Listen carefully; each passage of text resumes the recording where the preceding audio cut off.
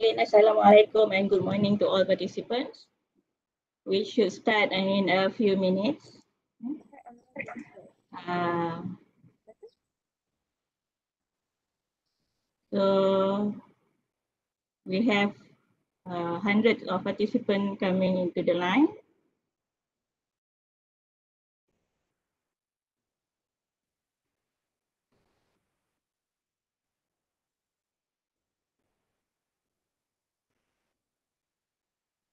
We should start another.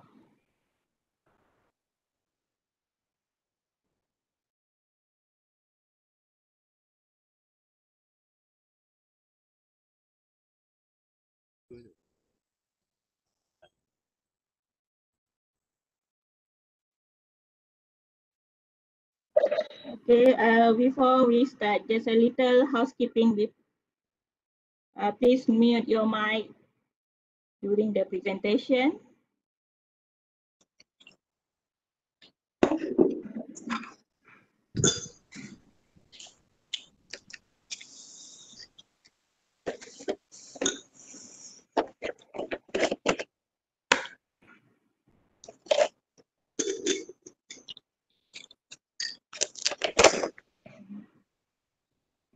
I think ready to mute your mic uh, because we are going to start in a few minutes.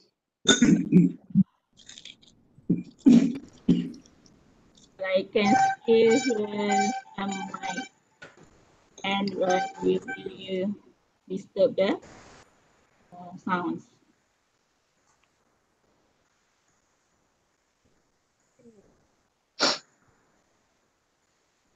A few minutes to uh, nine o'clock.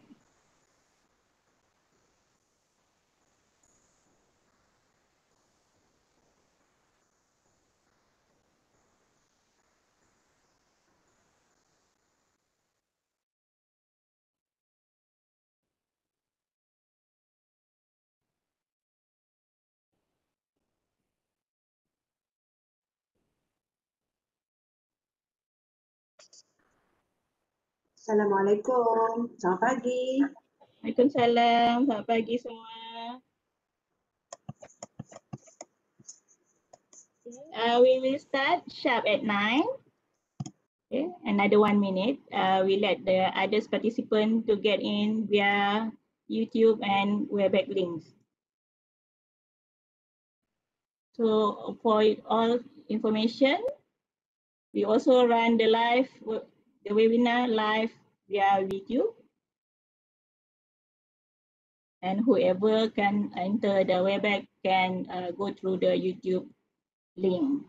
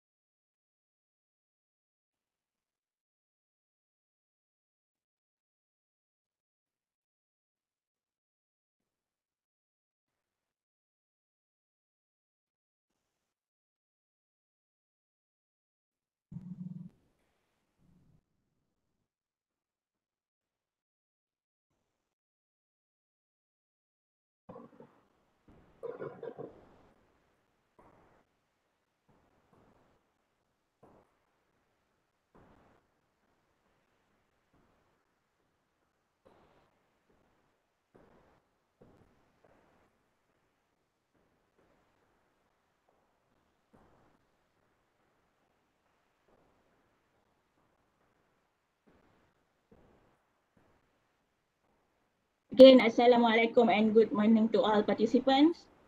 Welcome everyone.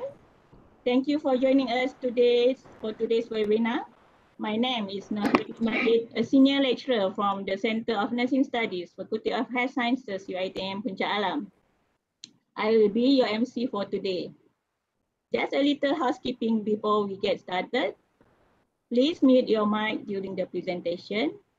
If you have any question during the presentation, please type them into the question box in your Webex control panel. I will bring them up during the presentation and we will also have time for question at the end of the session. The attendance form will be posted in the chat box at the end of the session. Now it's 9.01 o'clock. Alhamdulillah, we could gather virtually today. We could we, we should begin our session with Umul Kitab Al-Fatih.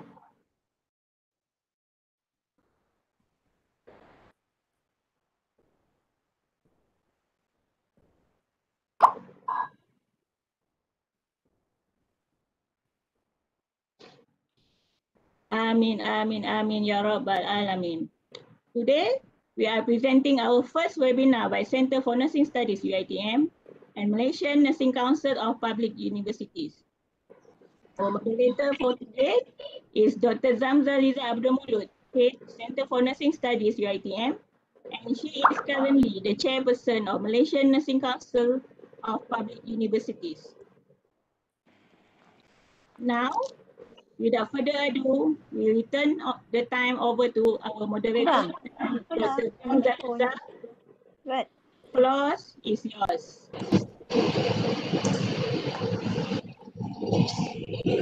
Bismillahirrahmanirrahim. Assalamualaikum and good morning everyone. Welcome to today's webinar, Tips and Tricks for Online Teaching, How to Teach Like a Pro, organized by the Center for Nursing Studies, UITM and Malaysian Nursing Council of Public Universities or MNC.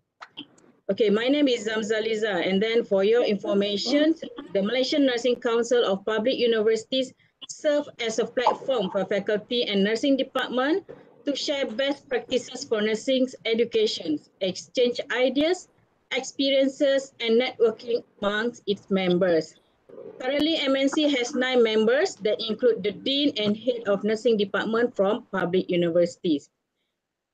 Okay, as online teaching become more prevalent, we as educators and nurses have to ask ourselves, what are the best strategies for teaching a successful online classes?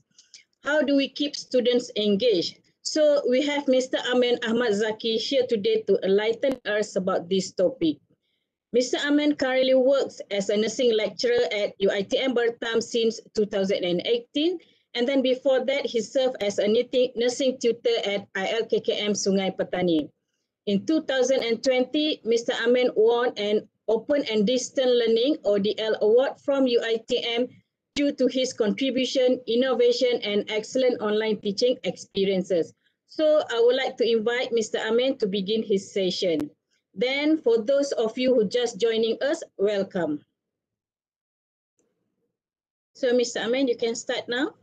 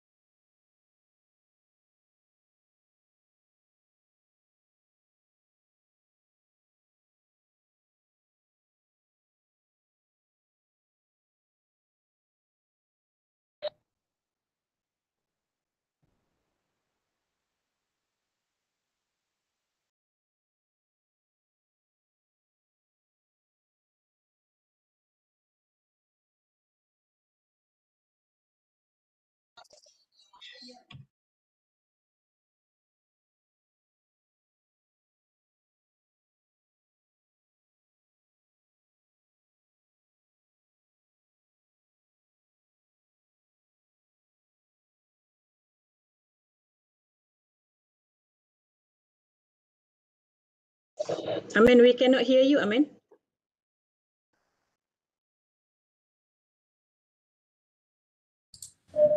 Assalamualaikum warahmatullahi wabarakatuh. Alright, can you hear me? Everyone? Okay, okay, okay. Alright, okay. Alhamdulillah, Alhamdulillah. Uh, rupanya I, I lupa mute. Okay, thank you very much. Thank you very much. Thank you to uh, moderator Dr. Zamzaliza Abdul Mulud, Head of Center for Nursing Studies. And thank you also for the MC, Puan Nurhaini Majid, Senior Lecturer, Center for Nursing Studies. Thank you organize, uh, for the organizer, Center for Nursing Studies Faculty of Sciences, UITM, and, and co-organized by Malaysian Nursing Council of Public Universities.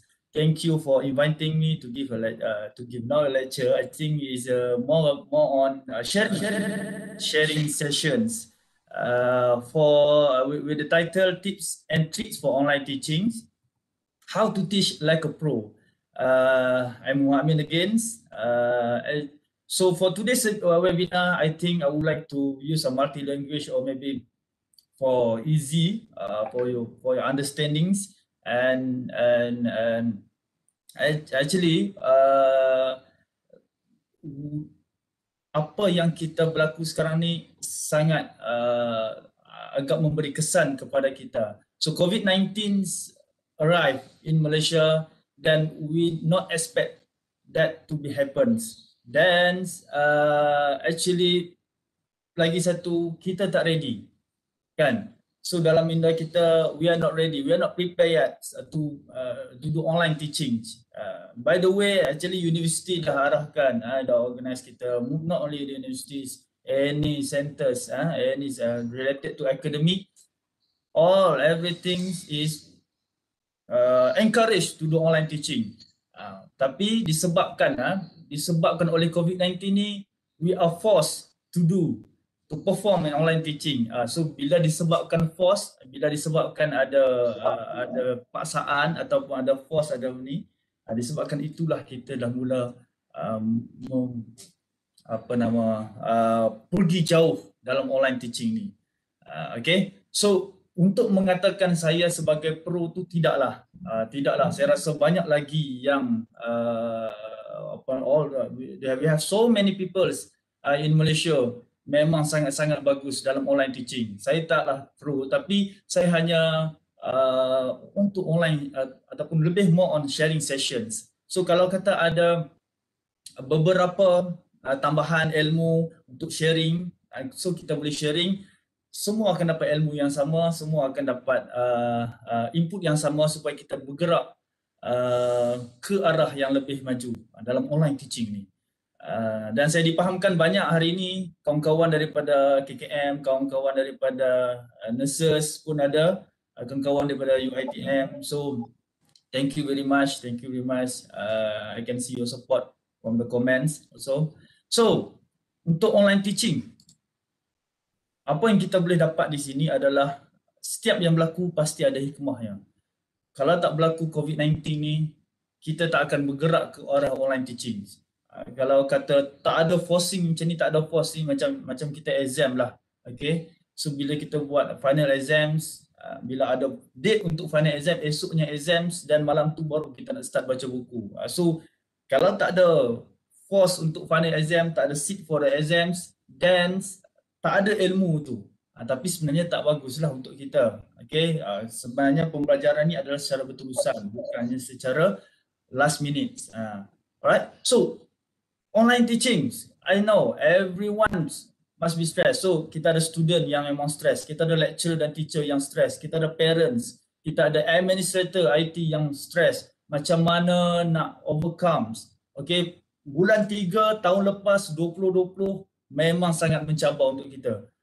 Bila terjadinya PKP, apa universiti certificate, apa semua institut akademik, uh, they think how we want to overcome this issue. Macam mana kita nak tambah baik? Dan ada beberapa isu lah kita ada Malaysian student yang terpaksa panjat pokok pergi ke hutan untuk mencari line yang elak kan. So ini adalah stress workload yang dihadapi oleh setiap akademik. Bukan di akademik saja, malah di clinical area juga. Alright, so stress, tired, rest. Macam mana kita nak jadikan online teaching ni fun and relax, enjoy. Alright, so actually teaching online is a, li- a little like gardening. Uh, like plants, uh, like plants and students need a healthy and fertile environment. If they are going to mature and thrive in their online course, so it takes planning, preparations, hard work, and enough, uh, enough knowledge, okay, to know what to do. So daripada sini, kita anggaplah student kita ni sebagai satu pokok yang kita akan membentuk dia menjadi satu pokok daripada satu biji benih menjadi satu pokok yang ni. So daripada online teaching ini. So hari ini lebih kepada platforms, lebih kepada teknologi dan lebih kepada software apa yang kita boleh guna untuk online teaching. How to teach like a pro using this platform, using these technologies and using this software. So teaching hari ini ataupun webinar hari ini lebih kepada sharing sessions. So saya akan summarize untuk semua participant. Thank you yang yang join hari ini. So saya akan summarize apa jenis platform yang kita akan guna. What types of platform that we want to use and the technologies and what the software we can use. Okay, untuk kita mengajar student, untuk kita mengajar pelajar-pelajar kita ni, kita perlu satu tahap yang atas daripada mereka. Kenapa saya kat pintu? Nanti saya akan tunjuk. Alright, so platform. Saya rasa semua tahu uh, menggunakan Google Meet, menggunakan Webex dan juga menggunakan Zoom dan juga Microsoft Teams. Then we have OBS Studio, we have also YouTube, we have also Facebook, Instagram, TikTok also. Uh, dia jadi medium for the transfer the knowledge uh, via online teaching. Dan ada satu part yang mana menteri waktu itu kan menteri Kementerian Pengajian Tinggi ada umumkan sebagai TikTok salah satu untuk jadikan medium uh, online teaching tapi disebabkan ya uh, actually media sosial ni ada pro and cons. Ha, that's why itu yang kita kena control. Okay, untuk uh, platforms, kita biasa guna Google Meet. I'm sure all of you uh, selalu guna Google Meet, selalu guna Webex. Hari ini kita guna Webex, selalu guna Zoom. Zoom pada permulaan bulan tiga hari itu ada masalah yang kata ada leak, leak uh, confidential punya data. Uh, sekarang dah okay. So Microsoft Teams. Alright, so ini adalah uh, jenis-jenis platform yang kita selalu guna. Okay, saya summarizekan untuk semua partisipan hari ini, tak payah dah pergi cari uh, tempat lain. Boleh tengok apa bezanya Google Meet, apa bezanya Webex, apa bezanya Zoom dan juga Microsoft Teams. So, hari ini saya uh, summarizekan semua. Okay, untuk perbezaan, uh, kenapa saya senaraikan empat platform ni, sebab ini adalah yang selalu kita guna di KKM, di UiTM, di universiti-universiti lain, di uh, akademik-akademik yang lain, cikgu-cikgu sekolah sekali selalu dengar Google Meet. Right. So Webex jarang. Zoom jarang. Zoom selalu dengar juga. Alright. Dan juga Microsoft Teams. Okay. Apa beza dia? Time limit. Okay. Untuk yang free version, Google Meet 60 minit. Satu jam. So one hour. Webex 50 minutes.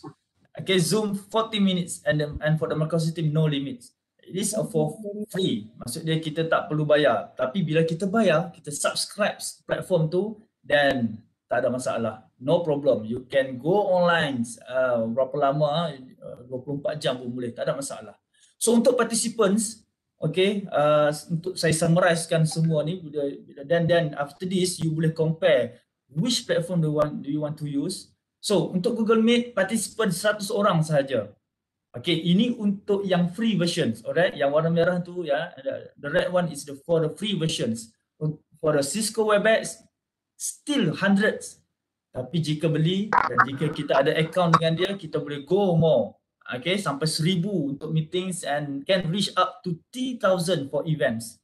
And for Zooms, sama, 100 juga orang yang boleh join. Maksudnya lebih daripada 100 orang dah tak boleh join. Tapi jika kita berbayar, kita subscribe dan can go more thousands, eh, up to thousands. Alright, annotation. Annotation ni apa? Annotation ni adalah satu. Contohnya, eh, kalau kata untuk Cisco Webex ni, uh, kita boleh gunakan annotations. Alright. Sekejap, okay. Kita boleh gunakan annotation untuk uh, menconteng. Yes, I annotate. So kalau tengok dari sini, sini, saya boleh gunakan pen, saya boleh bulatkan di sini. Inilah function annotation. Uh, so untuk Google Meet, tak ada kelebihan ini. Alright, untuk Google Meet tak ada kelebihan ini. Uh, so, and then for the virtual background, kalau kita boleh lihat di belakang saya ni, okay, ada gambar UiTM, uh, tapi saya tak berada di sini pun, saya berada di tempat lain. Uh, so, ini adalah virtual background. Okay, untuk permulaan bulan 3 hari itu, saya pasti semua uh, semua platform masih tak update ataupun masih tak upgrade. Uh, tapi kita boleh lihat sekarang ni Google Meet dah ada virtual background, Webex dah ada virtual background, Zoom dah ada virtual background dan juga Microsoft Teams. Uh, so ini adalah satu perubahan yang bagus lah. Platform-platform ni dulu tak ada permintaan pun. Tapi bila jadinya online teaching ni, dia terpaksa upgrade untuk melawan ataupun untuk compete uh, in the in in that in these situations. Alright, kalau kita tengok di sini pula, okay, kalau kita lihat di sini untuk recording eh, Google Meet, yes, pada bulan 3 sewaktu PKP berjalan tahun lepas tahun 2020, yes, kita boleh record Google Meet ni, tak kisah. Siapa account free version pun boleh record. And uh, until July uh, for the for for, for UiTM staff until September 31st uh, uh, the end of the September uh, dia habis function untuk recording ni uh, untuk Google Meet. Uh, so itu salah satu kerugian lah buat kita. Tapi tak apa. Alhamdulillah kita ada Cisco Webex yang kita UiTM ada supply yang boleh kita ni. Dan kita boleh record daripada situ. Zoom kita boleh record dan juga Microsoft Teams. Uh, tapi ada limit lah time limit dia 40 minutes only. Alright. So ini adalah summarize untuk semua edu, uh, educator semua saya rasa semua dalam ni adalah partisipan-partisipan ni adalah semua educator. Uh, tak kisah di clinical area pun kita menjadi educator kepada kita punya junior. Kita punya educator kepada, kepada kita punya patients. So saya summarizekan, you boleh nampak secara clear apa itu beza Google Meet, Webex, Zoom and Microsoft Teams. So this is the difference uh, between the platforms. So we have four platforms that usually we use. Eh. So for the virtual backgrounds, eh, pada permulaan uh, kita menggunakan snap camera dan any uh, semua all the platforms already upgrades uh, for the virtual backgrounds. Okay, ini yang biasa kita guna. Tapi apa yang tak biasa kita guna? Okay, alright. Kita ada OBS Studio, kita ada YouTube, kita ada Facebook, kita ada Instagram dan kita ada TikTok. Okay, uh, I'm sure hari ini ada yang mendengar daripada YouTube ada juga dengan pada Webex. So, apa yang kita boleh konkludekan daripada webinar hari ini adalah kita dah sampai satu tahap yang advance. Okay, dulu hanya Webex saja. Tak perlulah live streaming, live streaming nak buat apa kan. So, now when we go satu tahap atas yang mana kita dah pandai untuk cari ya macam mana nak buat live streaming di YouTube, maksudnya kita dah satu tahap advance. Kita dah satu tahap yang wah, ini Uh, satu tahap yang baguslah. Uh, ada perubahan daripada situ. Boleh pergi ke Facebook Live, boleh pergi kepada Instagram Live, boleh pergi kepada TikTok. Kenapa saya sebut TikTok? Walaupun banyak yang uh, ada benda yang negatif, tapi sebenarnya banyak benda yang positif kita boleh dapat daripada situ. Uh, kalau kita tak explore benda tu, kita rasa benda tu negatif. Tapi bila kita dah explore, rupanya banyak ilmu dalam tu. Okay, YouTube Live. I'm sure semua orang tahu YouTube. Hello. Facebook Uh, ya. Puan, saya dah start join dah. Nama saya timbul Datuk Zaidah Harun. Ya, ya ada. Ya ada ya, Puan. Ya. Terima kasih Puan Zaidah. Saya kenal, saya kenal Puan Zaidah. Selamat Kita datang Puan. Kita bagi sokongan. Thank you Puan. Alright, okay. So ini adalah platform-platform yang selalu kita guna dan juga platform-platform yang advance. Alright. Instagram, TikTok, kalau kita tengok daripada Instagram, macam-macam ilmu yang kita dapat daripada situ. So ada yang sharing sessions, ada yang daripada TikTok ni ada yang membuat uh, apa nama tips and tricks. So daripada situ kita boleh dapat ilmu-ilmu. Berbeza platforms yang TikTok ni lebih kepada video, Instagram lebih kepada gambar. Ada juga video di Instagram, cuma TikTok ni dia uh, agak dia lebih kreatif daripada segi video. So YouTube Facebook, Instagram. So ini adalah yang selalu rakyat Malaysia guna. Okay, ini data daripada Januari 2019 dan apa yang kita boleh lihat di sini dalam Gen Z ni, okay, dalam Gen Z ni YouTube adalah yang paling banyak 77%. Alright, ini total satu dunia. right? Instagram, Facebook, WhatsApp, uh, Facebook Messenger dan kita boleh tengok baby boomers ya memang sangat banyak. Okay, YouTube yes, uh, saya pun ada YouTube sendiri dan kita pun ada YouTube sendiri, UiTM pun ada nursing uh, YouTube sendiri sessions dan ini adalah idea-idea yang kita dapat setelah berlakunya COVID-19 ini. Okay, so di UiTM untuk pengetahuan semua untuk akademik daripada KKM, daripada mana-mana daripada hospital, daripada mana klinikal ataupun daripada universiti-universiti yang lain, swasta ataupun uh, apa nama government. So kita kami come out dengan uh, satu account YouTube. Boleh follow boleh subscribe di situ nursing nursing UiTM alarang saya boleh promote nursing UiTM uh, YouTube nursing UiTM alright. So daripada sini kami come out dengan satu prosedur kita tak boleh nak jumpa face to face ini yang salah satu yang kita uh, salah satu uh, apa cabaran we have to face. Uh, we have to face this. That's why we come out dengan satu idea we come out dengan Uh, satu account UiTM uh, nursing uh, untuk YouTube dan kita letakkan prosedur-prosedur di situ. Okay, so daripada sini student akan dapat melihat secara uh, apa walaupun bukan face to face hanya menghadap laptop tapi dia nampak. Sebab bila recording tu kita akan record dengan dekat, kita akan record dengan prosedur yang betul. So ini salah satu cara untuk kita dapat idea siapa yang ada di clinical macam mana kita nak ajar uh, prosedur yes ini salah satu cara yang kita boleh datanglah kita boleh buat dengan uh, apa secara online teaching. Which one do you prefer? Dah banyak-banyak kita letak uh, so uh, we have listed so many uh, platform then you confuse kan nak guna mana satu you ada Google Meet you ada Webex Zoom then we have so many platforms okay so it's very subjective it's very subjective. It depends on you. It depends on you. Where, which one do you prefer? All right. So you are the Google Meet, you are the WebEx, you got say Google Meet better. Yes, you can Google Meet. You got say WebEx better, then you can WebEx. So it's, it's, it's very, it's very subjective. So depends on you. Ada yang guna YouTube, ada ada kawan saya menggunakan Facebook untuk buat mengajar online teaching. That's okay. Asalkan ilmu tu sampai, tak ada masalah. Alright. Okay, tips and tricks yang pertama hari ini untuk uh, tips and tricks record your lecture.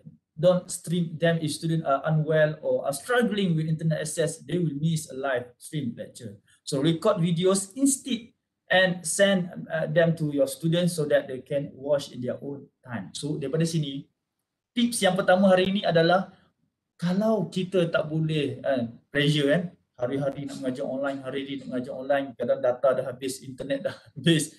Bukan kita sahaja, uh, apa lecturer sendiri pun dah habis data. Pernah saya sekali dalam satu lecture itu, saya tengah bagi lecture, saya yang terkeluar sebab data dah habis dan kita kena masuk balik, uh, we need uh, student to invite us. Alright, so ini bukan cabaran hanya pada student saja, lecturer pun ada cabaran ataupun pengajar-pengajar pun ada cabaran eh educator educator semua ada cabaran. So apa tips and trick hari ini adalah yang pertama first record your lecture. Kalau kata tak boleh nak buat live streaming don't worry jangan pressure relax. Itu yang saya pesan relax enjoy relax enjoy. So apa dia? Record your lecture alright. Then number two is show your face okay research has shown that lecture videos that shown in start to face are more effective than simple narrated slideshow so masukkan muka you dalam uh, dalam recording tu.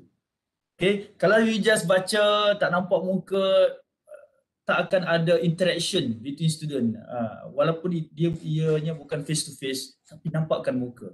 Alright, so yang pertama, uh, ini baru kita masuk. Okay, yang pertama saya suggest untuk dapatkan Bandicam. Bandicam ni adalah screen recorder yang kita boleh record nampak muka kita sendiri. Ah, so ini adalah satu benda yang uh, apa software yang bagus. Okay. Uh, free version cuma kekurangan dia bila kata free versions uh, you can record less than 10 minutes. And after 10 minutes dia akan cut cut. Uh, dia akan cut cut cut 10 minutes, 10 minutes, 10 minutes. Uh, so maximum video you can record uh, reach up to 10 minutes. Then if you want to purchase, uh, just only have one time purchase 162 62 ringgit. Alright. So untuk Bandicam, uh, ini yang saya selalu guna. Bandicam ni kalau kita nak buat video di YouTube and then I will I will use Bandicam. Then we have also we also have screen cosmetics, right? This one's free version you can record uh, up to 15 minutes, uh, uh, right? Then uh, kalau you nak subscribe ataupun you nak beli, uh, so the the plan is RM7 per, per month. So ini adalah satu bentuk screen recorder yang kita boleh guna, alright? kalau kita tak boleh go online, kita ada another options. Kita ada another choice. Jangan pressure kena buat online, kena buat online. Jangan pressure macam tu. So, relax, you as educator, you have must have plan A and plan B. Kalau tak boleh pergi plan A, you pergi plan B. Plan B apa? You can record. what screen you recorder. Alright, your so I suggest di sini I give uh, two options. You can download Bandicam and you can go for screen cosmetic if you want. You just click uh, uh, end of the end of the end of my slides. I will give my slides. Uh, you can scan nanti. So daripada situ boleh klik link ni dan boleh download di situ. Tak ada masalah. Then I have another one. You can go for PowerPoint. Yes, PowerPoint also you can record PowerPoint. Okay, tapi masalahnya di sini adalah jika uh, you pakai PowerPoint yang version lama, uh, the old version uh, 2016, then you can record with your face dalam slide tu. Uh, so kalau you guna PowerPoint 2020 and above and also PowerPoint 365, then only you can record your face, uh, include uh, your, your slides and include your face together. So ini adalah satu pembaharuan daripada uh, uh, apa nama PowerPoint. So ini adalah satu pembaharuan yang kita boleh lihat lah. Kalau kata guna 2016 still boleh record tapi tak nampak muka lah. Ini satu satu satu kekurangan dia. Alright. So you ada Bandicam, you ada Screen Cosmetic dan you ada PowerPoint. Alright. Okay so kalau untuk staff UITM then you can go for uh, aduan. You can get uh, apa PowerPoint to, uh, 365 for free. And you go for advance, then you boleh dapatkan pendaftaran baru Microsoft 365. So it's all free. Thank you. Uh, so ini salah satu satu mungkin tempat-tempat lain ataupun uh, tempat uh, ni boleh. Eh? Alright. Alright, so PowerPoint 365 boleh tengok, uh, boleh scan uh, QR code di sini on how to use, on how you want to uh, this, uh, the video is tutorial on how you want to record a video using a PowerPoint. This is five. Uh, include your face uh, dalam dalam slideshow itu. Uh, okay, so itu adalah satu benda yang ni lah. Uh, so plan A kita live streaming tak boleh pergi live streaming. We go for plan B dan we record dan we give to the students. So ini salah satu. Okay, tips and tricks lagi hari ini. Treat each student as an individual. Okay, instructor should value individual contributions and treat their students as unique. Okay, a simple technique is to use the students' preferred names or nicknames in all correspondence. Right, so it also is important to add positive emotion and visual cues. So, uh, tips and trick hari ini, bila bila kita mengajar students, pastikan kalau saya mengajar, okay, kalau saya mengajar, saya akan ada satu list name di sebelah saya. Alright, jika dah kalau kata ada 60 orang di situ, okay, kalau ada 60 orang dalam satu kelas tu, so kita tahu, kita takkan ingat semua nama student itu. Tapi kita ada apa, apa attendant di sini dan kita boleh panggil nama dia di situ. So, ini salah satu tips and tricks. Jika kita membebel, jika kita mengajar daripada pukul 8 pagi sampai pukul 10 pagi without without interaction daripada student, without asking, saya dia orang tak boleh tanya soalan, tak boleh ni, then, then, uh, the, the potential for student to leave the room, uh, potential for the student to leave the webinar or anything in the class, online, online teaching, sangat tinggi. Uh, sebab dia dah boring. Kita, uh, bila kita berinteraction dengan student, dan kita panggil nama dia, you jawab, you ni, then, ini salah satu tips lah untuk you as educator Uh, remind uh, adakah nama student di sebelah dan kita boleh panggil dia uh, supaya dia response. Yeah. Alright. Then online environment can be limited to when the communication is mostly text based. Alright. Dia kita membaca je kan. Okay. Selesai untuk platforms, okay, selesai untuk platform pengajaran. Uh, we have uh, we have WebEx, so many. Uh, alright, so we go for platform for assessments. Alright, in UITM we have U feature. Thank you UITM. So we have U feature to assess students. We for the test or the for the final exam also we can use U feature. Kita akan masukkan soalan dalam tu, kita boleh buat dalam tu.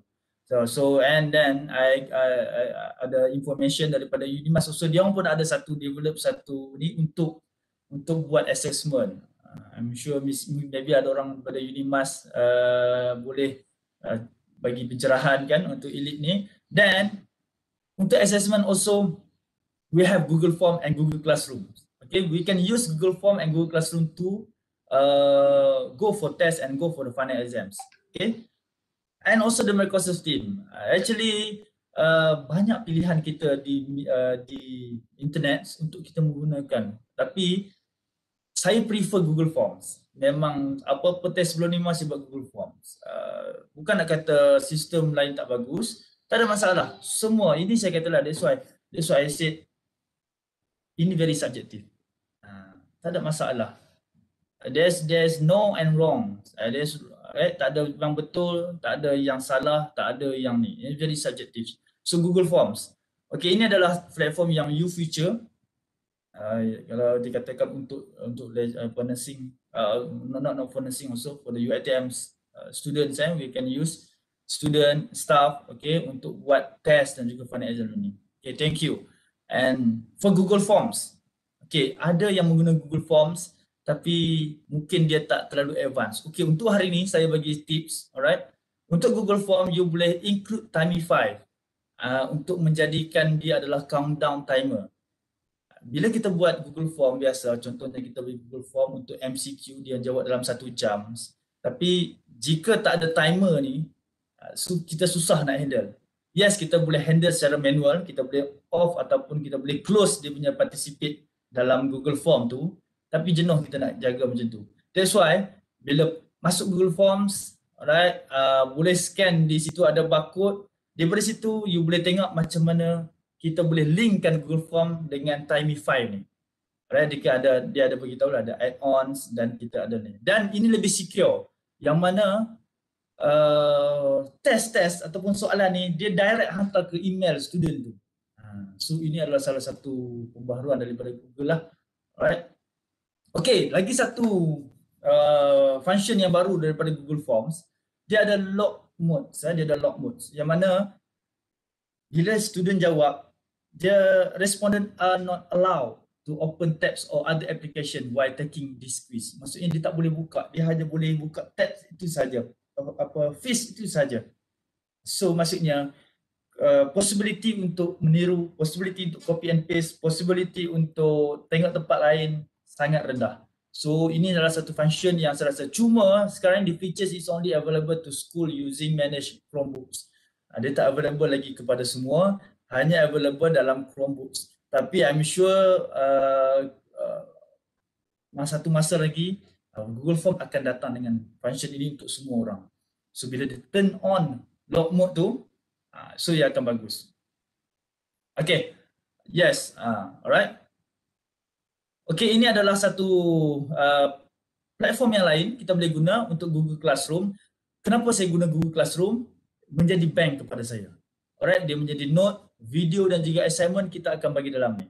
Ada student kita akan access dalam ni. Boleh tak kisah tak ada masalah you nak pakai Google Drive pun boleh. And then Google Classroom is one another option you can use untuk you letak PowerPoint, video and notes okay, dalam ni. Sebab dalam ni senang student untuk access. It's not for the it's not suitable for the uh, interaction you nak sembang dalam tu no.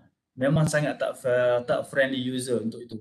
Tapi dia sangat friendly user untuk you letak sebagai bank. You letak note you letak powerpoint you letak assignment dalam ni dan you senang untuk cari balik nanti. Sebab once you ada google uh, accounts then you can use google classrooms. Alright. Okay tip and tricks again. Alright. Seek feedback from your student. Okay, ini yang selalunya pensyarah-pensyarah, pengajar-pengajar, educator-educator terlepas pandang. Okay, kita rasa kita mengajar tu yang the best. Kita rasa kita mengajar tu, oi, saya lah yang the best kan. Ya, rupanya banyak kekurangan kita yang dapat. So apa yang perlu kita buat di sini? Jangan malu, jangan segan. Okay, buat satu feedback. Okay, dapatkan satu feedback daripada students from your online student on a regular basis. This will help you to ensure you are, you are meeting the needs of your audience and improve your approach. Feedback is invaluable. Sangat-sangat. That's why uh, subjective data sangat-sangat valuable. Alright apa yang menjadinya valuable ini sebab satu dia adalah satu uh, pandangan yang ikhlas daripada student kepada kita. Macam mana kita nak buat? Ini dia. Okey. Dalam masa anda mengisi Google Forms, uh, kita buat satu Google Form untuk e-attendance. Saya ini yang saya buatlah untuk e-attendance saya. Di dalam itu saya letakkan maklum balas. Kelas online. Uh, you can go for English, you can go for BM, it's nothing.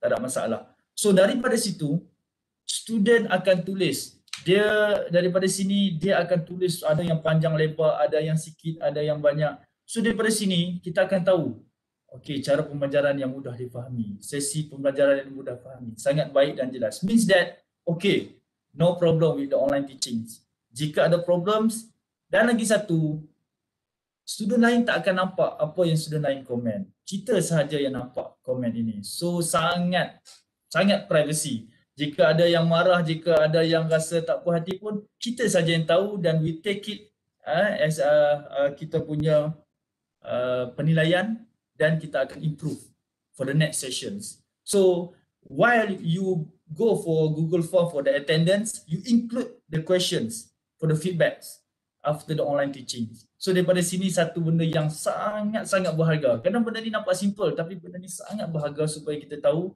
we can go uh, macam mana kita punya performance waktu online teaching. Alright. So how you want to go, how do you want to develop Google Form for the attendance? You can again you can scan the barcodes and it will bring you to the YouTube to my YouTube and uh, dalam tu saya ada letakkan tutorial bagaimana untuk buat attendance. Uh, saya tak bagi kosong macam ni, you can go for the scan, you can go for the YouTube, you can go for the you boleh tahu macam mana you nak buat. Alright. Okay, teknologi. Kita dah habis untuk platforms. Kita ada banyak platform yang you can use. Kita ada WebEx, kita ada tadi kan saya dah terang. Then you go for advanced, kita ada YouTube, kita ada TikTok. Okay, uh, TikTok tu memang budak-budak sekarang ni memang sangat-sangat suka lah. Alright, eh. Uh, you ada Instagram pun semua kan. Itu adalah platform. Okay, platform plan A. Ingat yang saya beritahu tadi. Platform plan A. One, eh. Plan A is for uh, live streaming. If you want to uh, you nak data to secara live, you can go for live streaming. Tapi jika uh, rasanya ada student ada problem, ada masalah, you can go for plan B. Plan B is what? Plan B is go for screen recording. You record video you mengajar, you bagi dekat student selepas itu. Tak perlu setiap masa kalau kata ada 10 kelas, 10 kelas you nak buat live streaming. No jangan tension, jangan jangan jangan stress. Okay, kita educator jangan stress. Alright, plan A go for live streaming, plan B go for screen recording and then you ambil video tu you can give uh, through WhatsApp, through Telegram, through Google Drive, everything you can go. Alright, ini adalah satu advice daripada saya lah yang saya boleh nampak. Alright, sebelah setengah orang saya nampak dia sangat stress kalau nampak live streaming kan. Jangan risau. Alright. Okay, go for the, we go for technology. Alright, so we have drawing pad, we have ring light, we have webcam, we have microphones and for advanced ones, we have green screen and T-stands. What is T-stands? And also virtual, virtual reality. Alright, okay. Ini sangat-sangat saya advise untuk setiap educator, uh, each of educator, uh, uh, siapa yang uh, belum beli benda ni, you, it is compulsory it's compulsory to you for buy these ones, a drawing pads. Alright, for for what? You can go for marking, you can go for teaching. Okay, so daripada ini harga harga saya ni ini, ini 70 ringgit ini waktu dulu. Saya rasa dah dah lama. Google Pad ni then you can use untuk marking. Okay, alright. Bila you use, bila you gunakan mouse, no, nothing. Mouse sangat-sangat, mouse, mouse sangat membantu. Tapi untuk marking dia tak boleh membantu. Okay, untuk you drawing tak boleh membantu. Alright, so marking, teaching whiteboard, you can go for drawing pads. I advise you go for Shopee, cari hari ni hari apa uh, okay hujung bulan ni tiga hari bulan tiga kan so Shopee buat sale beli booking terus hari ni. Uh, add to cart hari ni. Okay? Uh, so drawing pad is very valuable now. Right sangat-sangat membantu untuk kita. Uh, kalau untuk final exams yang menjawab dalam bentuk PDF kita boleh mark ikut atas PDF tu. Sangat-sangat membantu. Alright ini satu okay bila saya mengajar saya sangat suka menggunakan pen Uh, alright, sebab apa? Bila kita melukis, uh, ini satu uh, pemahaman kepada student, advantage kepada dia untuk dia lebih faham walaupun memanglah nampak buruk kan. Tapi ini satu yang dia boleh nampak sebab untuk face to face untuk menjadikan dia lebih dekat dengan kita. Menjadikan student tu uh, ada rapport dengan kita walaupun kita jauh dengan dia kan secara online teaching. Ini menjadikan ini menggantikan whiteboard saya. Kalau dalam face to face class saya pakai whiteboard inilah yang menggantikan whiteboard saya selama dalam hampir one year uh, untuk online teaching ni inilah whiteboard saya. Okay. Ken you go for ring light? Ini saya rasa uh, sebelum COVID-19 datang pun rasa banyak dah beli ring light ni untuk yang uh, selalunya orang perempuan untuk make up kan selalunya untuk yang berniaga lah kan. Uh. okay. Untuk ring light ni LED ring light tak mahal murah saja. RM27. Bawah RM50 you boleh dapat yang stand cantik lawa. Ini pun saya ada satu di sini. Dia nampak ring light kan? So apa ring light function kat sini ialah untuk dia bagi ah, dia nampak. Okay, ah, okay. so ring light ni satu dia akan nampakkan.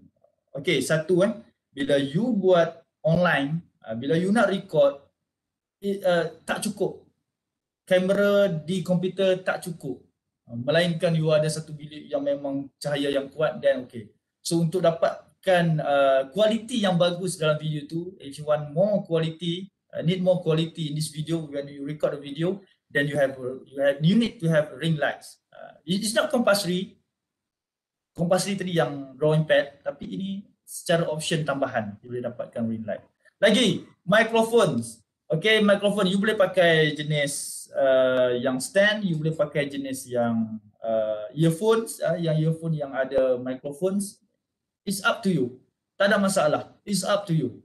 Alright? Then we can go for yang komputer mana-mana yang tak ada webcam then you go you can buy webcam. Ini yang murah lah. Saya letak ni harga yang yang yang uh, bukan harga kayangan lah. Huh? dan yang semua boleh beli. Okay, microphone you boleh beli, webcam you boleh beli. I think each one of you, setiap educator perlu ada webcam. Ah, kalau kata ada webcam di di laptop it's okay. Sebab bila you mengajar you kena buka webcam. Biar orang nampak. Kita tengah bercakap. Sebab dengan gaya bercakap inilah orang akan lebih faham. Uh, okay? Walaupun benda tu nampak simple tapi benda itulah yang akan masuk ke dalam uh, dalam kita punya knowledge right? So for advance you can go for green screen uh, ini saya tak advise lah untuk guna memang saya beli green screen Dulu memang saya ada green screen. Alright, okay. Sebab apa saya ada green screen waktu tu? Disebabkan masa tu kita tak ada virtual background. Katakanlah cuba boleh lihat di belakang saya ni, ada gambar uh, bangunan belakang ni. Dulu tak boleh buat macam ni. Google Meet tak boleh, Webex tak boleh, uh, Microsoft Teams tak boleh, Zoom pun tak boleh. Tetapi sekarang semua dah upgrade. So you tak perlu pun pakai green screen dah. Uh, disebabkan you dah you di sistem ni uh, all these platforms uh, have been upgrade so tak perlu dah pakai green screen. Uh, dulu saya pakai green screen untuk buat background belakang. Uh, tapi jika you nak pakai green screen untuk beli untuk you buat video then it's okay. Tak ada masalah. Benda ni semua tak rugi. Okay. Alright. Macam mana you nak buat you akan boleh. Uh, green screen ni you akan guna OBS ataupun ni untuk buat video. Tak ada masalah kalau you nak buat lebih. Right?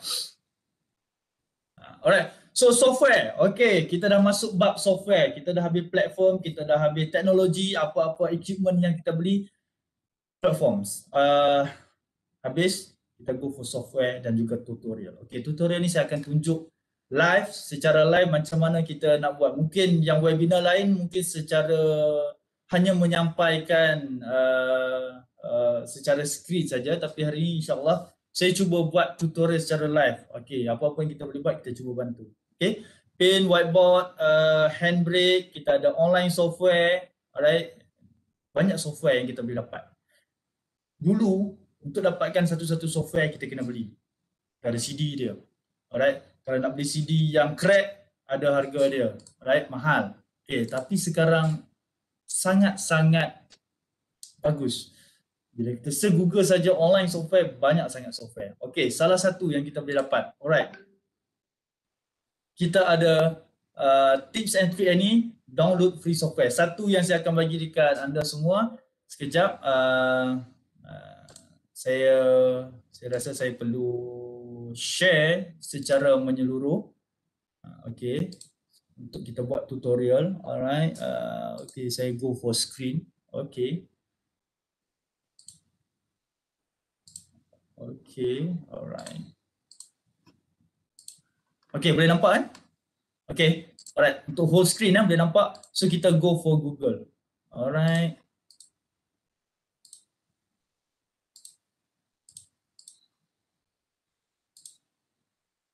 Sekejap eh.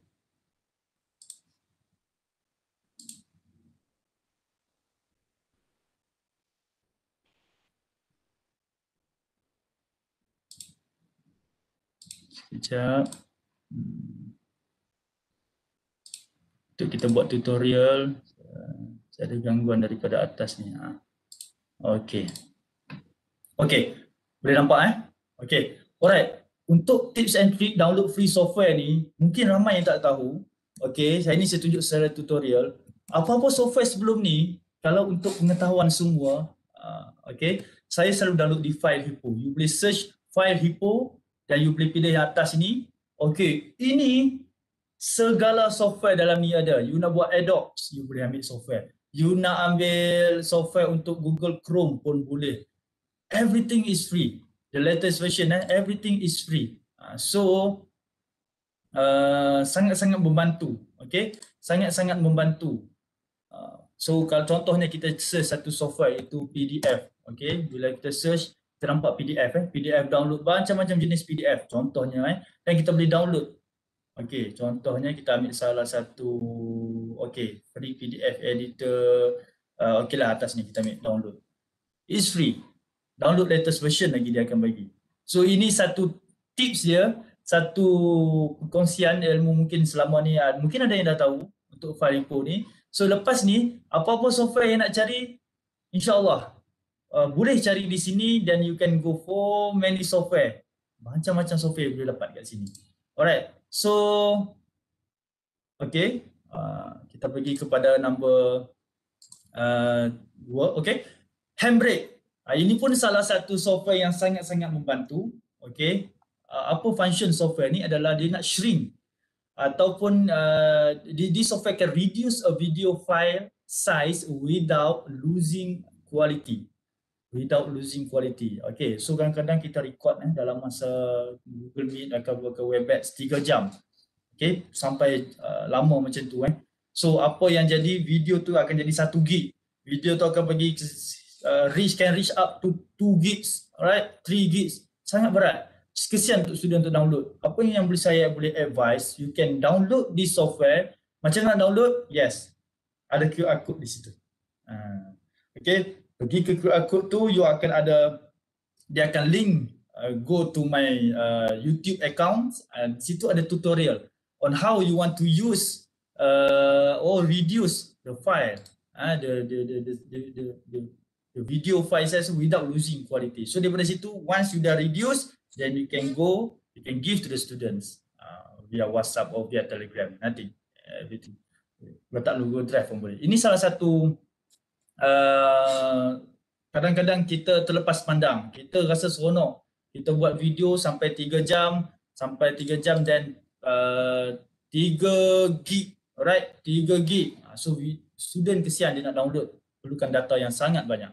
Okay, untuk QR code, alright, untuk QR code, okay, generator, apa yang ni, ini satu uh, contohnya eh, contohnya ada link yang terlalu panjang. So kita boleh shortkan QR code ni supaya dia jadi kecil dan lebih nampak lebih official. Nanti saya akan tunjuk satu tutorial bagaimana kita akan buat QR code ni. Okay, kita pergi pada video editing software dan phone and computer dulu. Okay. Best video editing software for phone and computer. Apa yang you boleh dapat untuk phone you boleh install yang pakai Android ataupun iOS iPhone, you boleh install CapCut. CapCut adalah satu software yang saya pernah guna memang yang antara yang the best untuk video editing by using your phones. Uh, you, can just using your mobile phone, alright? So daripada situ you can edit video you nak letak apa, tak ada masalah. It's very uh, friendly user. And I think Kind Master ni sangat-sangat ramai lah orang guna eh. Kind Master you ada video editor and video maker. So Kind Master pun antara yang is is uh, is very uh, valuable. Uh, it's very good uh, application you can use for the, your for your phones. Eh. Alright. Untuk uh, komputer. Okay, ini boleh download eh. Boleh download kan lepas ni habis webinar ni you boleh download CapCut, you boleh download KineMaster is free of charge. Okay, tapi biasalah kalau kata nak go for pro kan, dia ada pro version kan, biasalah dia ambil, ambil, ambil ni sikit. Okay, untuk video editing, kadang you as a lecturer, you as academician, you as educator, okay, you tak tahu software apa yang nak guna nak nak nak, nak edit video. Ai, ai punya student canggih sangat ni. Ai, ai tak boleh jadi ni. Ai pun kena canggih macam student ai. Ha, so ini satu software yang saya boleh suggest is a online software for vid, alright, video editing made simple this one eh. Uh, this one. Okay. You can go for annotate so you can yes nampak tak di sini. Inilah function annotate ni. Ha, maksudnya bagus.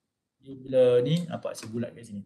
So vid ini okay uh, you boleh klik link di sini register free of charge tapi biasalah dia ada limit dia. Okay dia kata saya tadi yang bila saya buat bila saya guna software ni uh, dia online online software tak perlu download dia punya apa installer. Okay so daripada situ you akan uh, bila up video dia adalah limit dia uh, not more than 50 megabyte macam tu. Uh, tapi canggih-canggih. You boleh edit video dari situ yang you boleh export dan produce satu video. So okay lah. You have you have uh, you uh, you ada option untuk buat. Lagi satu you ada Filmora. Uh, Filmora ni satu software yang you kena download dulu. Eh, you nampak kat sini kan? Dia ada perkataan download kat sini. So you boleh download, install dia, then you can um, edit video, export, you can cut, paste, uh, apa put on titles, logo, everything. You can use, you can use this one. You can use this uh, software. Alright, so ini adalah satu software yang maybe educator depan ni boleh guna. Uh, sangat membantu untuk kita buat video kepada student pula kan. Selama ni kita nampak student yang canggih, ini biar kita yang canggih. Alright, so is the software you can use. Okay, Okay, tutorial how to make a digital signature. Alright, okay. Untuk untuk buat digital signature ini, alright, saya tunjuk secara kosong dulu. Okay. Uh, so maybe webinar ni different sikit daripada yang lain sebab saya lebih kepada tutorial sebab uh, you all semua dah ada dalam ni, you ada participants kan. Uh, so kita boleh tengok. Okay. Macam mana nak buat? Kadang-kadang kita tak tahu macam mana kita nak buat digital signature? Kan? Uh, tengok student pun dah canggih buat digital signature. Ya ada juga digital signature yang menggunakan QR code. Alright so apa yang kita boleh buat di sini kita pergi ke bahagian uh, powerpoint ini okey kita pergi kepada insert shapes okey dekat shapes ini dia ada satu uh, free forms okey scribble eh dia ada free form you klik sini dan you nampak macam ada satu pen ini kita kita buat kita punya digital signature eh. So kita sign. Tak ada masalah, sign. Alright. Okay. So dah sign. So ini adalah digital signature kita. Okay. So untuk you jadikan digital signature ini secara live ataupun you nak gunakan dalam you punya, you nak sign dalam you punya ni. So you boleh klik di sini, you klik kanan, you save as picture. Clear? So you save as picture, alright, save as picture. Then go for, jangan pilih JPEG eh. Jangan pilih JPEG, you pilih PNG. Okay, jangan pilih JPEG, go for PNG. Kita sekejap, kita cuba masuk dalam uh, ni. Okay, sekejap. Okay, okay. So you save digital signature. Alright, signature. Digital sign. Alright. So you save dalam ni. Okay. So you bila masuk dalam satu ni, you dah ada satu digital signature eh. So ini contohnya eh, uh, saya buka satu uh, dokumen. Student kata, sir, sir sign set digital signature. Alamak, student pun tahu digital signature. Aku tak tahu macam mana ni. Ah, so itu satu problem kita. Jangan tunjukkan kelemahan kita kepada student. Kita kena nampak pandai kepada student. So guna digital signature ni, you boleh copy. Okay, boleh tengok tutorial sini. You boleh copy. You pergi kepada dokumen tu. You klik sini, you paste. Alright, you klik sini, you akan paste. Jangan bimbang. Bila jadi macam ni, jangan bimbang. Okay, bila jadi macam ni jangan bimbang. You klik kanan. Okay, you pergi ke wrap text. Okay, you pergi in front of text. Nampak? Nampak dia dekat mana sekarang? Dia dekat atas.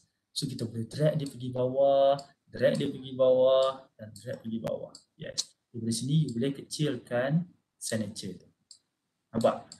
Okay. So, uh, kena masukkan chop lah sir. Apa sign saja tak cukup. Jangan bimbang. Kita boleh masukkan chop tu. Okay, macam mana kita nak masukkan chop tu? Okay, suggestion saya kalau nak buat ini, ini secara manual lah. Kita buat secara manual eh. Okay, kita chop di atas kertas putih. Okay, kita chop di atas kertas putih. Kita ambil gambar secara manual ya. Yang macam-macam cara nak buat design nature ni. Ini salah satu contoh lah saya tunjuk eh. Kita ambil kertas putih, kita tuang gambar. Kita masuk ke dalam satu software. Okay, gambar ni. Yang mana kita akan jadikan ini adalah uh, PNG. Contohnya, saya akan tunjuk benda ni eh.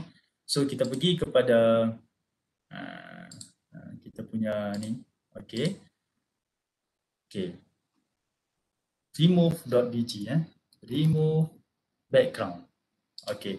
Bila kita dah ada gambar tu, bila kita dah ambil gambar chop kita tu, alright, so kita pilih, ini gambar tadi eh, kita dah ambil gambar atas kertas A4, okay, so you akan draw, you akan drag your punya ni, ke dalam ini, dia akan tengok apa yang jadi.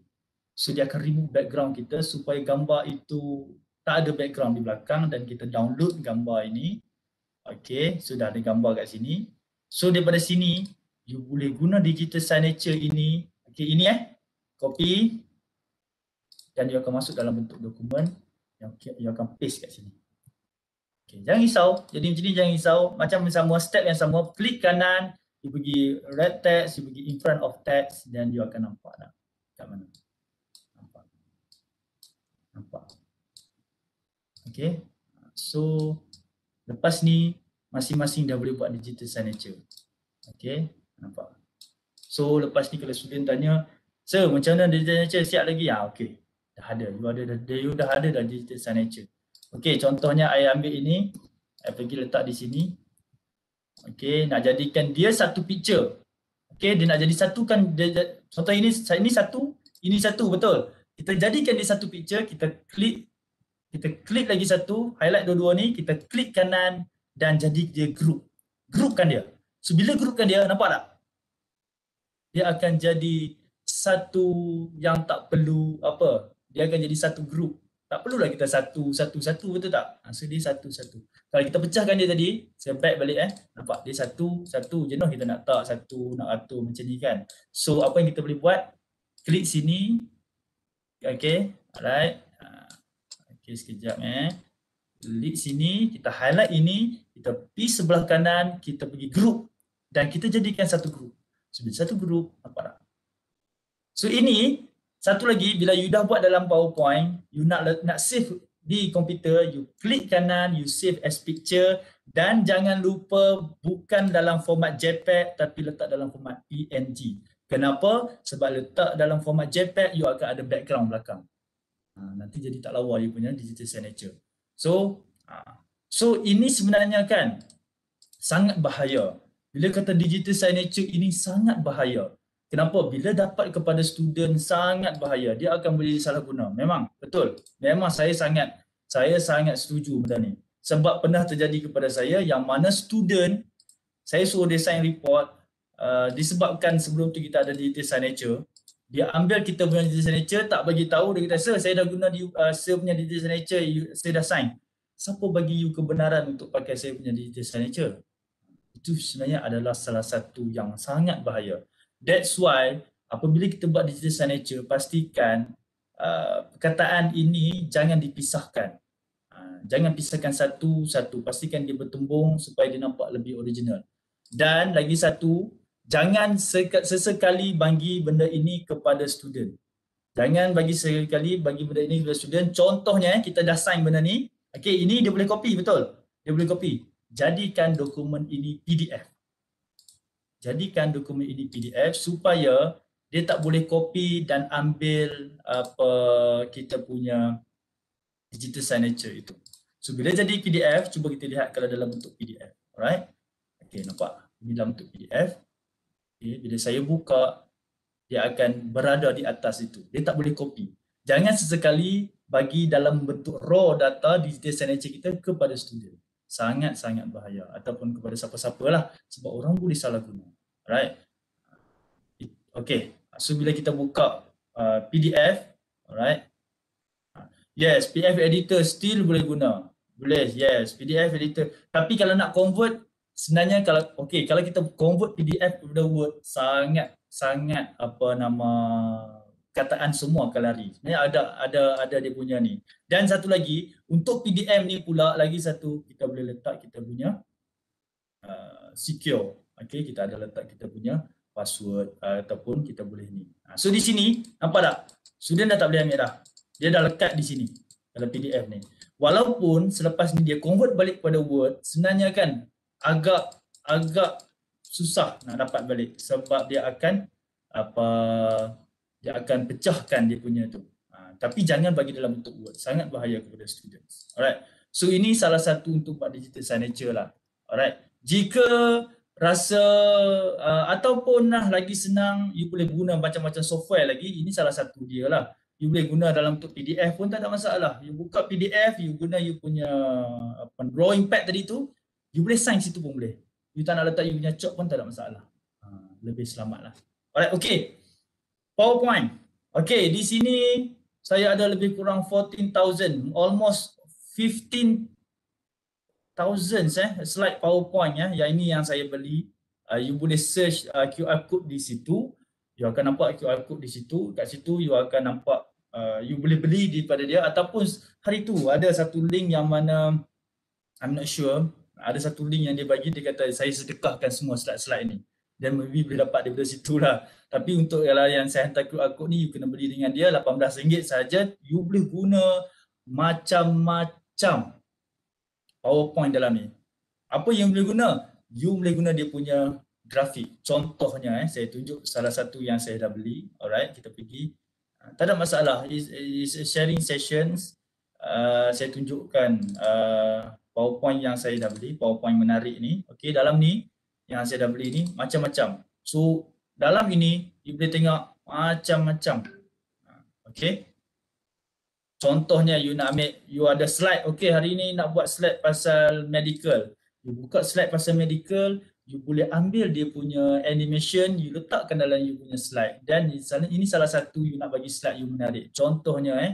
Okey. Uh, saya run tutorial hari ini. So ini contoh you kata oh ada saya ada mengajar slide pasal uh, disability. So you copy, you boleh pastekan dalam you punya slide tadi. Okay, you pergi slide tadi. Alright. Okay, you copy paste. Then okay, you boleh adjust dan you boleh adjust warna. Okay, kalau you nak adjust warna, you pergi shape formats. Okay, you pergi cut fill, you pergi apa, warna biru, warna purple. Orang ni you nak bagi warna ni inilah salah satu nak menarikkan slide you. Ha, okay, inilah salah satu you nak naikkan you punya mood slide tu. Ha, so, uh, uh, apa, mana tadi? Uh, okay, ini dia, dia punya slide. Alright. So, uh, ini salah satu yang dapatkan slide. Macam-macam jenis slide ada eh.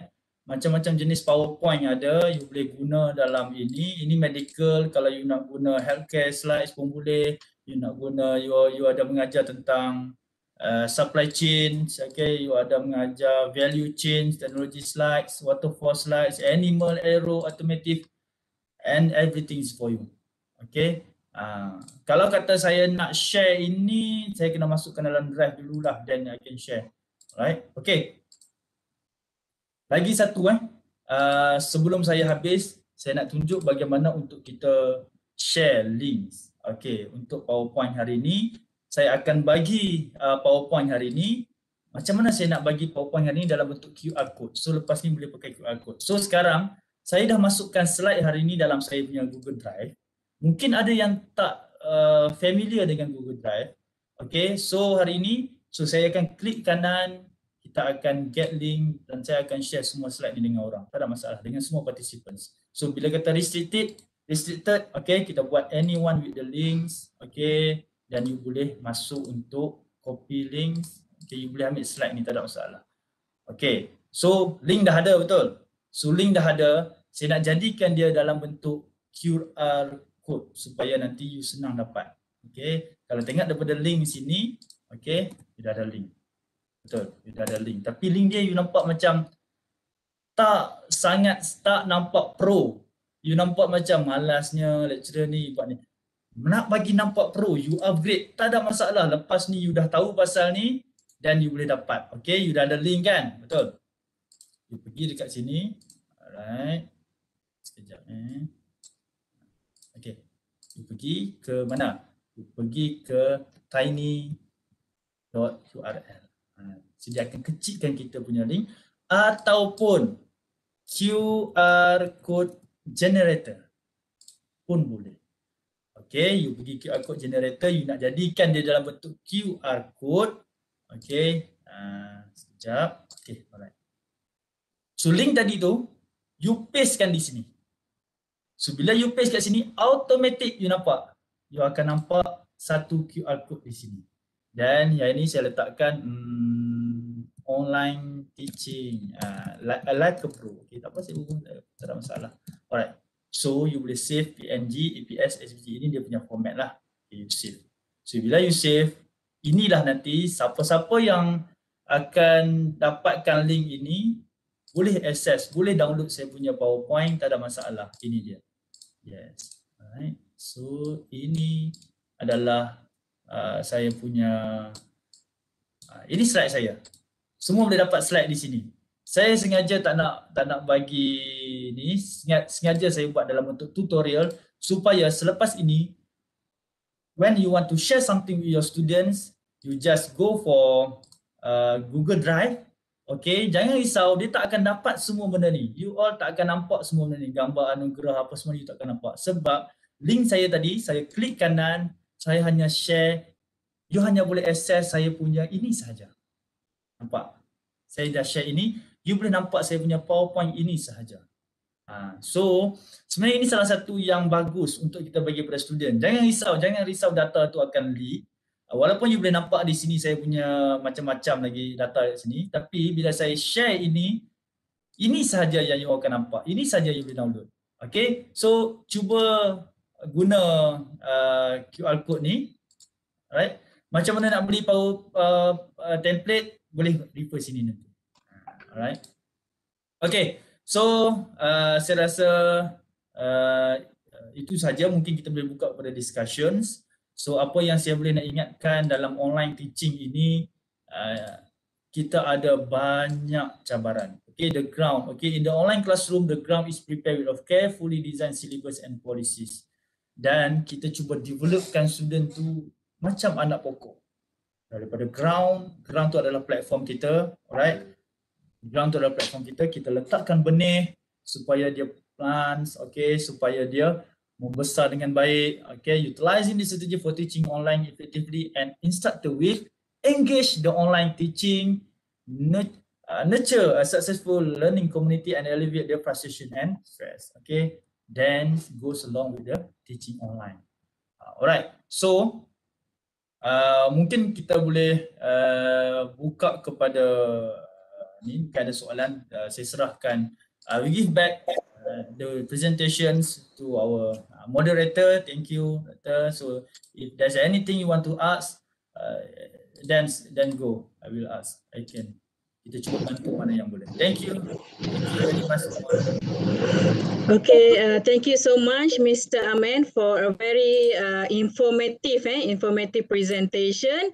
uh, very technical and then uh, I believe we have learned a lot eh, from today's session. So uh, from the chat box, eh, I have few questions eh, from the participants.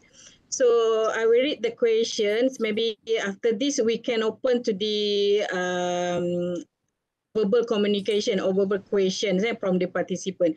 Okay, the first question, Mr. Amen, uh, the participant asked, can we convert 2016 to 2020 PowerPoint? Okay. Uh, and then, uh, okay, you can answer it first. Okay, uh, thank you yang yang bertanya. Thank you for asking the questions. Okay, untuk PowerPoint, uh, sebenarnya we have to buy. Okay, alright. Kita ada PowerPoint 2016, we have PowerPoint 2010, alright. Then we have another version, all versions. Actually, we can convert uh, the PowerPoint to the latest version. That's why they come out with the latest versions. Okay, bila kita nak pakai PowerPoint yang versi terbaru, uh, the, the new versions, we have to buy a new versions one. Alright. So bila uh, untuk yang nak menggunakan recording, uh, the latest PowerPoint ya, Microsoft uh, PowerPoint 365 ini adalah salah satu yang suggest lah. Yang saya suggest yang you boleh record you boleh nampak you punya face dalam tu. Uh, tapi jika you ada PowerPoint 2016 jangan risau tak ada masalah. Janganlah guna recording daripada Microsoft PowerPoint 2016 you gunalah screen recorder tadi. Yang ada kita ada Bandicam yang kita ada Screencast-Matic okay ini adalah satu uh, software yang walaupun even though uh, you boleh record uh, up to 10 minutes, 15 minutes, it doesn't mind. Asalkan you ada video dan you boleh tunjuk you punya muka dalam tu. Jangan stress nak alamak kena kena beli PowerPoint baru pula, PowerPoint 2016 ada problem. Uh, tak ada masalah. Uh, jangan stress, enjoy. So you go for Bandicam, you go for Screencast-Matic. Uh, thank you.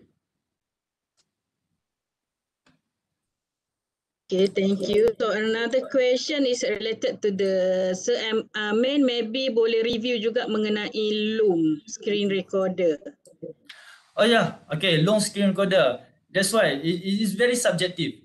Okay, we have so many application, we have so many software uh, dalam dalam kita punya uh, uh, apa nama media kita.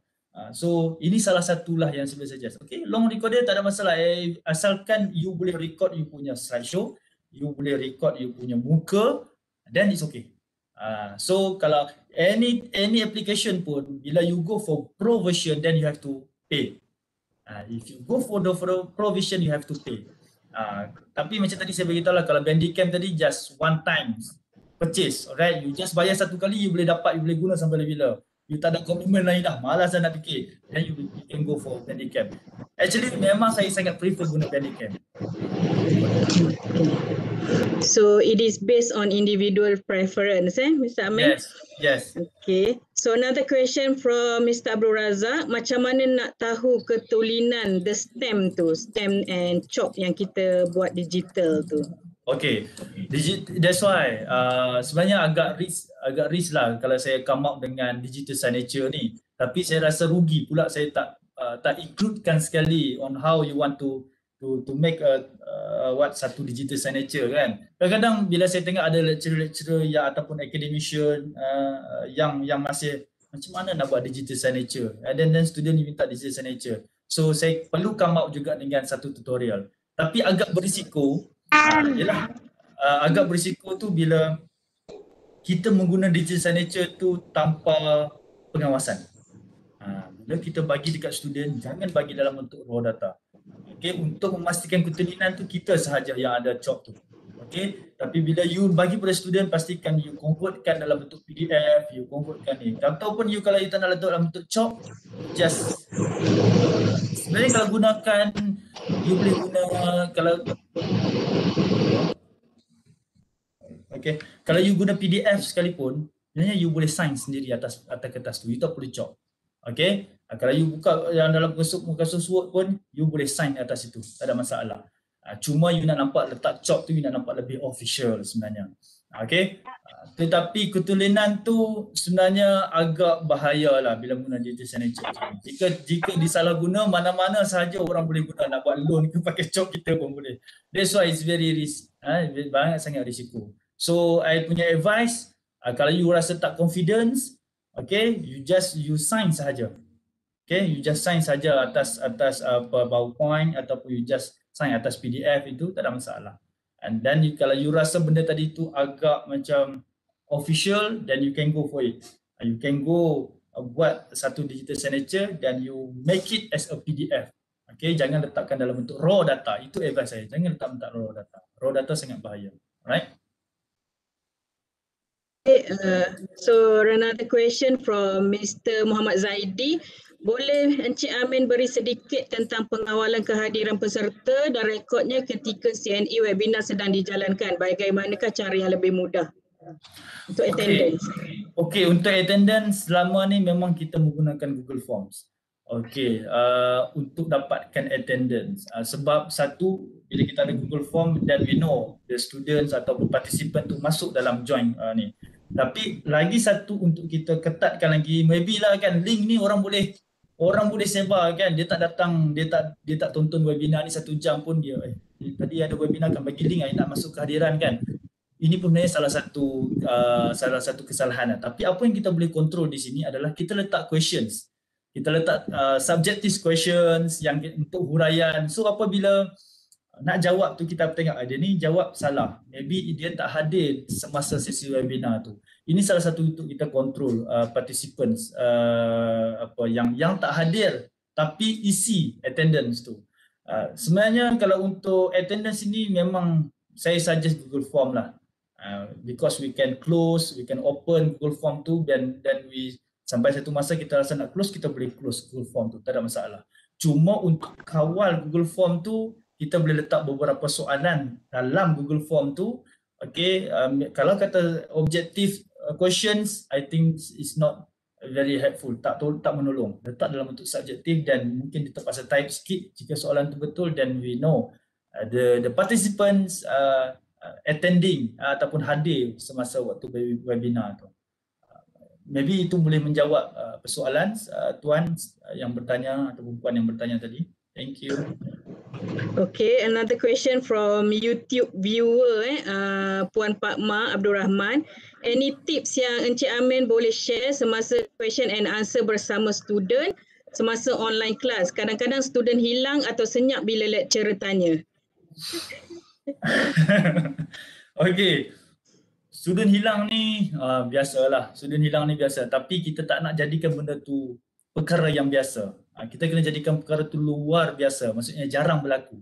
Okey untuk pastikan student sentiasa hadir uh, in uh, during our class eh kita salah satu apa yang saya buat waktu masuk semester baru ni i make it compulsory for all the students to open uh, to switch on the webcam tu buka webcam tu dan kita boleh lihat. Tapi ada problem juga ada student yang tak ada webcam. Betul lah alasan dia orang macam-macam kan? Ada student saya tak ada webcam so macam mana?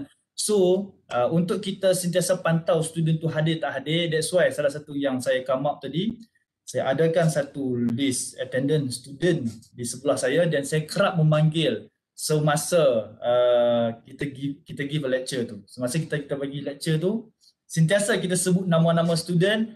Daripada situ student kalau kata kita sebagai student kita aware ai lecturer ni selalu panggil nama ni kan. Uh, so sebab ada juga beberapa kali kita bila kita panggil nama student tu dia tak tak menjawab. Sampai ke sudah tak menjawab. Dan bila kita habis webinar kita habis session kita tu dia seorang je yang tak keluar lagi. Maksud dia memang dia tak ada depan komputer pun Ha, itu salah satu yang kita boleh take note untuk uh, tips untuk semua educator dalam ni untuk tips educator yang lebih kurang uh, 551 ni. Okey salah satu nak tahu student tu hadir tak hadir dalam kelas kita kita boleh lihat sampai dia left semua kita boleh lihat dia tak left lagi. Bila seorang-seorang dia tak left lagi tu itu salah satu tip. Memang dia hadir ke tak hadir itu. Dan kita cuba panggil nama dia banyak kali panggil nama dia, panggil nama dia. Memang dia tak hadir dua tiga kali, memang betul dia tak hadir. So itu kita boleh jadikan rekod kita, okay. Dan kita akan tanya kemudian, tadi you pergi mana? I panggil you banyak kali, you tak ni, ah, dan kita boleh tahu dekat situ. Uh, kehadiran dia memang dia tak tak wujud pun semasa dalam kelas kita tu. Ini yang saya tu selalu uh, saya boleh bagi advice lah. Satu, panggil nama dia, summary dia, you panggil nama students, kerap panggil nama student waktu kelas. Nombor dua, bila you nak tamatkan ni, you keluar paling last. Bila keluar paling last, you akan nampak ada student lagi yang tak left. Ha, itu mungkin student yang memang tak alert uh, dengan you punya lecture. Tapi ada juga student yang memang uh, sangat pasif. Uh, tapi selalunya kalau kita panggil dia akan menjawab. Uh, InsyaAllah. Thank you. Puan Fatma. Okay. Uh, so another thing is related to the plagiarism. So Mr. Amin, any suggestion to detect plagiarism among student other than Turnitin? This question is from Lily Mary. Yeah?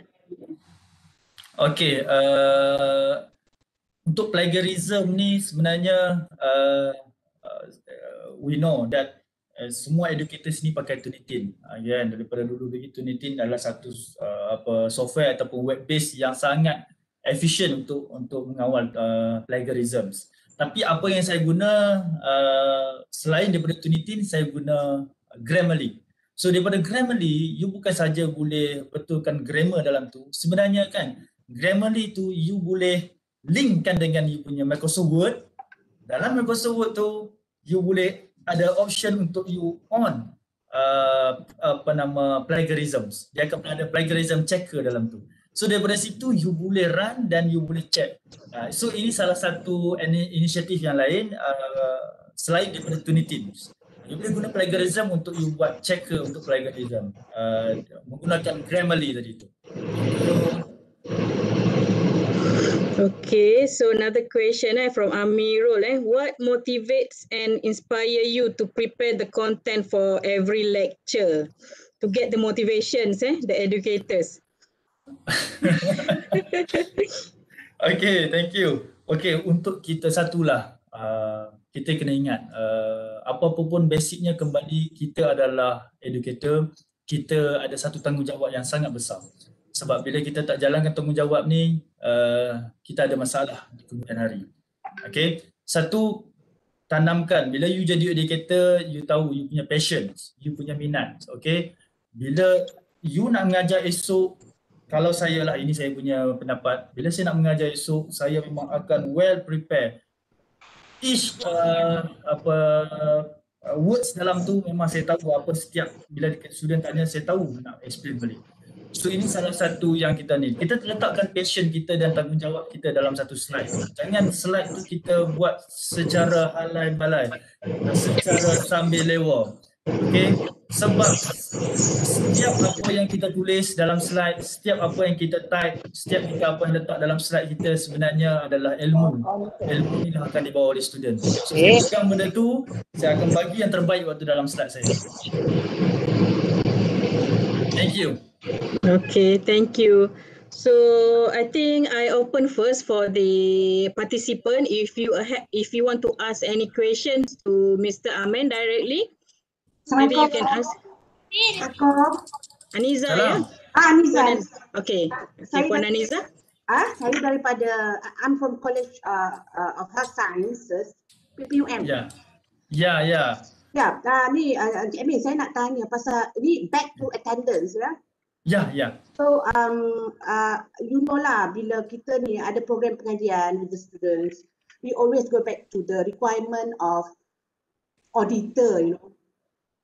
Bila dia datang untuk visit, for example, in terms of attendance, the validity, yeah. uh, what kind of attendance that that you think acceptable uh, and uh, meet the requirement of the LJM and so that there, there will be no question, no loophole for auditing kan. Kita nak jawab. So yeah. in your practice, macam mana you keep the documentation?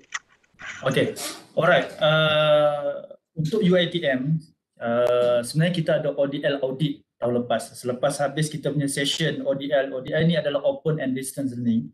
Start daripada April until uh, September macam tu. Dan kita ada audit ODL waktu bulan Oktober. Uh, audit dalaman lah.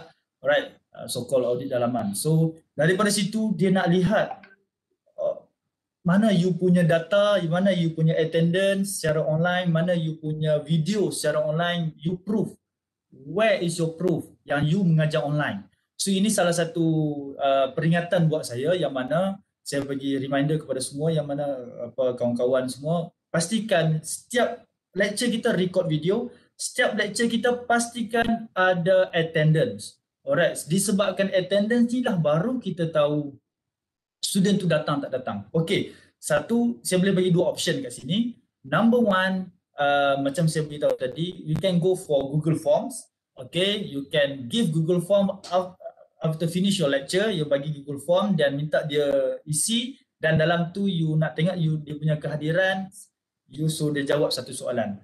Satu. Tapi yang terbaru sekali kalau uh, semua perasan, okay, dalam Google Meet, okay, dalam Google Meet, bila you on live, bila you dah habis, actually Google Meet tu sendiri akan bagi attendance. Maksudnya tak perlu kita bagi Google Forms. Okay, kalau you guna Google Meet, saya ulang lagi sekali, I repeat. So when you use Google Meet, actually the Google Meet itself already prepare uh, prepare for you the attendance. You can download the attendance from the Google Meet itself.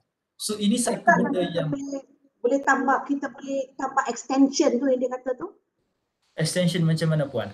Dalam uh, uh, bila kita ada Google Meet application tu kan, dia it seems like I pernah juga cari dia ada kata kita tambah extension. Ya, extension tu kena beli. Boleh, ya, yang extension ya, tu kena beli.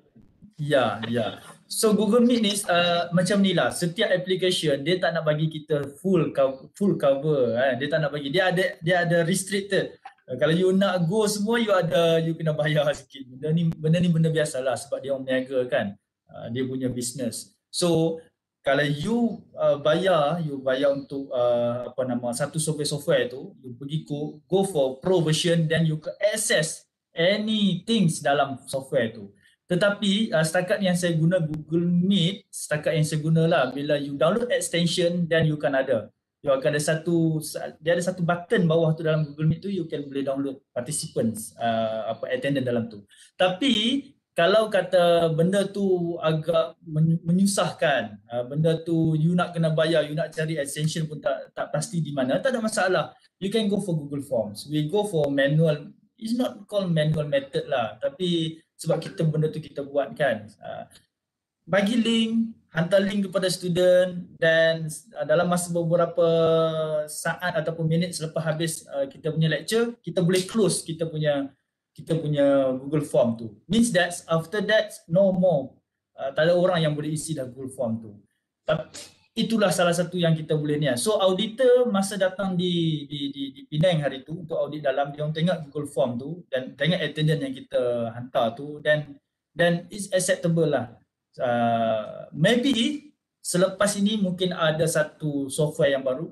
Uh, we don't know. Maybe ada satu software yang baru yang untuk just for the attendance ataupun selepas ini Webex sendiri, Zoom sendiri come out dengan satu apa button yang baru untuk kita boleh download uh, attendance directly from the application and then it's more better.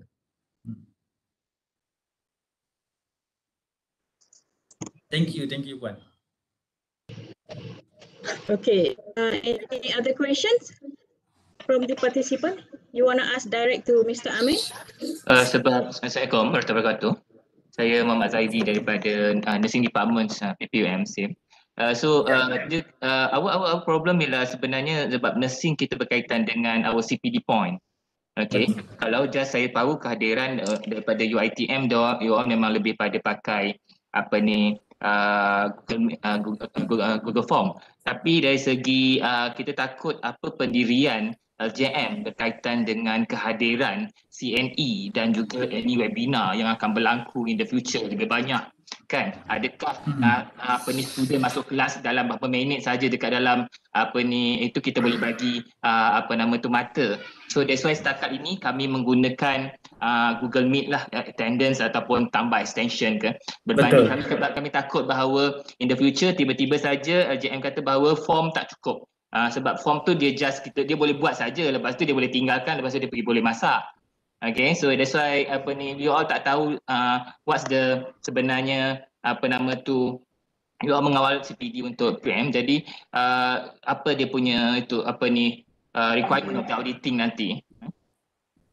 Thank, thank you Mr. Zaidi, thank you. Uh, saya saya kenal Mr. Zaidi daripada PPUM kan. Alright, Mr. Zaidi betul. Betul, memang sangat susah untuk kita kawal uh, attendance uh, peserta ni. That's why Uh, bila kita ada authority, kita yang develop uh, Google Form tu dan kita yang control benda tu, kita ada uh, kita ada maksudnya kuasa tu berada daripada kita. So kita boleh control bila kita nak buka, bila kita nak tutup. Means that bila you bagi apa-apa lecture, you bagi CPD, you bagi CMA things, jangan bagi link tu terlalu awal. Dan ada lagi satu cara uh, bila apa yang apa yang saya praktis untuk uh, saya punya kelab, link tu saya akan buat dua link. Satu link mula dan satu link tamat. Pun boleh. So link mula dia akan isi, link tamat nanti dia perlu isi lagi sekali. Kalau dia isi link mula saja maksud dia tak complete dia tak boleh dia tak acceptable untuk dia maksudnya dia tak approve untuk dia hadir lah itulah uh, sebab dia isi link mula sahaja so kita buat dua link satu link mula kita akan bagi okey boleh isi link di sini habis nanti kita akan bagi link yang satu lagi. Dan dalam itu pun kita bagi jangka masa. Kita tak boleh buka uh, for one hour. No. We can go for we can't go for one hour. Kita just buka maybe 50 minit then then no. No uh, no kita akan close. Uh, so salah satu idea dia maybe you can go for mula you akan bagi attendant habis you bagi attendant renyah sikit lah. Tapi it, untuk untuk validity data tu I think is more better dan kita buka satu saja. It's, it's okay. Uh, ini mungkin salah satu penambahan lah. Uh, kita boleh tambah baik. Pada Amin, saya Dr. Hairina daripada UIA. Uh, boleh tak you bagi contoh satu macam mana you nak set in the restriction untuk Google Form for attendance particularly? site restriction macam mana tu? Means that? Macam you cakap kita boleh masuk timing kan macam in one hour. Ah uh, macam mana? Uh, can you okay. show the hands on session? Okay, boleh, boleh. Sekejap ya. Saya share saya punya screen. Sekejap. Boleh ke? Boleh ke organizer saya share screen saya? Adakah saya dah share screen saya ni? Belum lagi eh? Sudah ke? Okay, siap. Okay. Alright, alright. Okay, uh, saya tunjuk di sini salah satu yang uh, ini secara manual lah uh, yang kita boleh buat eh untuk attendant ini. Ini adalah yang saya guna practice untuk contoh lah saya ambil mana-mana attendant ini untuk kelas saya lah. Uh, so contoh attendance eh. Ini Okay, ini salah satu attendant yang kita guna e-attendance. Kita uh, call it as a e-attendance. Alright. Okey, di pada sini, e-attendance ni pelajar akan isilah nama, nombor matrik tarikh, dia akan masuk kelas apa semua. Alright. Dan daripada situ kita ada response. Okey. Macam mana kita nak control kita punya responses ni? Macam mana kita nak control adalah kita kita sendiri sebagai pemilik uh, Google Form, kita boleh klik di sini. So means that kalau kita nak buka, kita boleh buka. Okay, dan dia boleh isi question, uh, isi dia punya attendance tu dalam 50 minit dan kita akan close secara manually di sini. Uh, so ini atas kita. Uh, so bila kita dah klik uh, not accepting responses, then no one can fill up the forms uh, untuk e-attendance. Uh, ini salah satu yang yang yang kita boleh buat secara manual sebab kita yang ada. Dan ini pun not everyone, uh, bukan semua yang boleh. Kita saja yang pemilik ini saja yang ada authority untuk accept or not accept the responses. Ah, so ini salah satu yang kita boleh kontrol lah uh, apa siapa tadi Dr. Khairina ya. Right. Ya, yeah, terima kasih. Okay kak, ya. Yeah. Uh, thank you, thank you. Okay, jelas. Alright. Assalamualaikum, Brother Amin. Ya, ya. Dr. Saliza here. Ya, yeah, Doktor. Okay. Uh, okay, I'm aware that you guys have done this ODL kan dah for the yeah. last few years. Um, yeah. Uh, but for us kan kita sebenarnya we are not doing ODR definitely because because of the pandemic ni kita like sort of lah hybrid lah kan ya. Yeah? Mm-hmm. So uh, soalan previous uh, Puan Aniza tadi tu macam mana bila auditor comes kan dia akan check semualah dia tak kira kita ODR ke kita emergency RTR ke kan dia still need to see bila dia comes to the audit kan. Okay, soalan saya uh, pertaining to the examination for the assessment yang kita buat for the final SEM recently yeah. kan. Okay. So how uh, you mention of um, apa tu there are ways to for us to lock them not for so that dia tak boleh browse kan. Betul ya. Yeah. So um, yeah because um, we do see the, the response kan daripada student ni kan kita nampak dia terlebih pandai. so um, you know um, kita kita kata kat dia ada ada yang saya tahulah ya ada yang setengah school yang sort of like ask student to buka laptop satu and dia buka platform video kat belakang tu uh, orang kata nak ambil gambar so that nampak dia buat apa kan and then dia ada dua tiga PC ke dua tu ke So but then tak semua yang student boleh buat. Like you said just now, student ada setengah tu ada phone je. Uh, ada setengah tu laptop tak ada, pegang satu saja. Jadi macam mana? Macam mana how, how do you control that? Okay, uh, untuk untuk test. Okay, untuk test yes, tu punya yes. exam, mana-mana lah kan? Alright, yeah. uh, untuk test, contoh saya bagi untuk test ya, uh, apa yang saya buat, apa yang saya praktis adalah uh, saya menggunakan Google Form juga. Okay, saya akan menggunakan Google Form juga. Cuma, uh, sekejap eh, kalau uh, saya boleh share di sini, sekejap ya. Alright, takes time eh. Okay, apa yang saya buat adalah uh, bila kita bagi test, kita tak akan bagi uh, contohnya lah eh, uh, hari Isnin kita suruh dia jawab pukul 8 pagi sampai pukul 10 pagi. Tak semua orang boleh masuk uh, tak semua orang student ataupun ni uh, student kita lah kan nak masuk tepat 8 pagi dan keluar 10 pagi. Sebab setiap orang ada problem. Ada problem internet, ada problem uh, uh, apa lagi? Anything lah kan, ada masalah dengan ni mungkin yang ada di rumah uh, adik dia kacau ke mak dia di barang kan yang ada masih work from home kan. Okey, apa yang kita boleh uh, uh, kita boleh share di sini yang mana saya yang, yang dah saya buat adalah bila saya buat test tu, saya tak akan buka dua jam restrict habiskan dalam dua jam. No. So apa yang saya buat adalah saya akan bagi one day. One day untuk dia jawab. Tetapi so saya akan bagi macam inilah pukul 8 pagi sampai 8 pagi 8 pagi esok you ada masa 24 jam untuk jawab. Okey. Tetapi bila once you click the links, you have only two hours to complete the test. So ikutlah you nak jawab pukul berapa, you rasa you punya internet laju pukul satu pagi, you jawablah pukul satu pagi, habis tiga pagi. You rasa pukul 12 tengah hari mak you tak kacau untuk pergi beli barang, you jawab pukul 12 tengah hari sampailah 2 petang. And then that's why I remind dekat student, jangan klik, jangan jawab soalan exams if you're not ready. So bila you dah ready, you dah mental, you dah prepare, you dah, dah tenang-tenang, you dah ni, then you can go for untuk jawab soalan. So saya tak restrict. Maksud dia kalau 8 pagi, you kena jawab 8 pagi sampai 10 pagi habiskan. No. Saya tak akan buat macam itulah kepada student. Apa yang saya buat, saya ulang lagi sekali. Saya kata saya akan bagi 24 hours untuk mereka jawab soalan. Untuk student jawab soalan. So saya akan buka 8 pagi nanti 8 pagi esok. So dalam masa tu, uh, you boleh jawab anytime. Tapi bukan bermakna you boleh ada masa 24 jam untuk jawab. Once you click the links, you only have two hours to complete the questions. Uh, ini ini salah satu yang saya saya saya apply lah. Uh, so uh, macam mana you nak buat two hours uh, dia ada timing tu. And tadilah yang boleh tengok dalam slide saya tadi tu, you ada satu software yang dipanggil Timify. Uh, Google Form, yes ini dia you bila pergi sini you ada satu timify alright uh, alright so inilah yang akan control. Daripada sini jugalah kita boleh lihat student dah jawab ke belum dalam masa 24 hours tu. Dan kita boleh tahu oh uh, CA jawab pukul 8 pagi uh, CB jawab pukul 6 petang. Maybe dia free waktu tu kan? Uh, so tak ada masalah. Ini adalah in case student yang berada di rumah lah. Okay, kalau yang berada di hostel pun kita boleh apply macam ni, tak ada masalah. Masa bila dia free, yes, dia akan jawab soalan tu. Maybe this uh, this uh, answer menjawab kepada soalan uh, doktor. Uh, yes, um, that is one of it. Um, uh, could be uh, the options that we can do.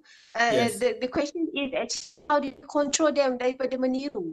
Because uh, as ah as I, as I said just now, there's some schools that ask student to buka dua dua apa tu uh, ni ada laptop, I mean synchronize concurrently laptop and phone.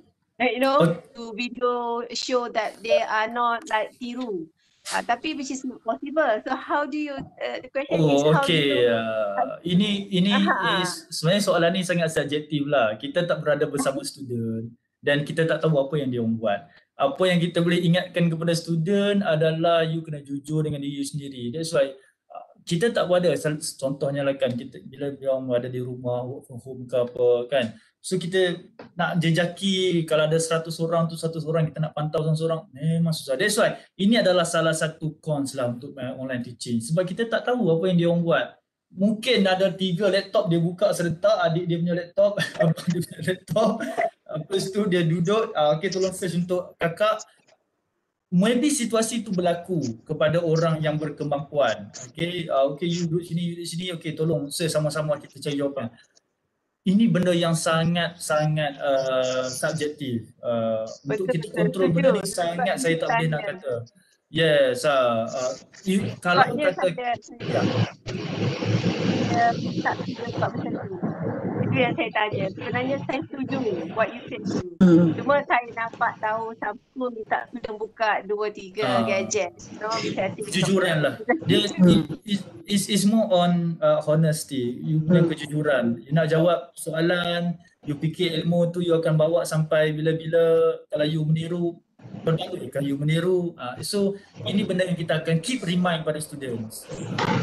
Okay i think another uh, option that we can uh, at the level of kita punya question preparation lah kan? So make sure kalau boleh kita tak adalah uh, apa tu construct questions so yang macam recall they can find the answer from the internet yes, kan? yes, so it's better yes. to give like scenarios application yes. types of questions kan so student tak boleh google dan tak boleh jumpa dia punya jawapan. So that's another tips lah kot ya This yeah, is saya, challenge and, and saya agree.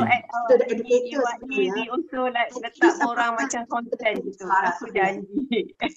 Tawakal Allah and they has to sign it. So uh, who's asking um tadi nampak ada soalan ni. Puan Aniza ke?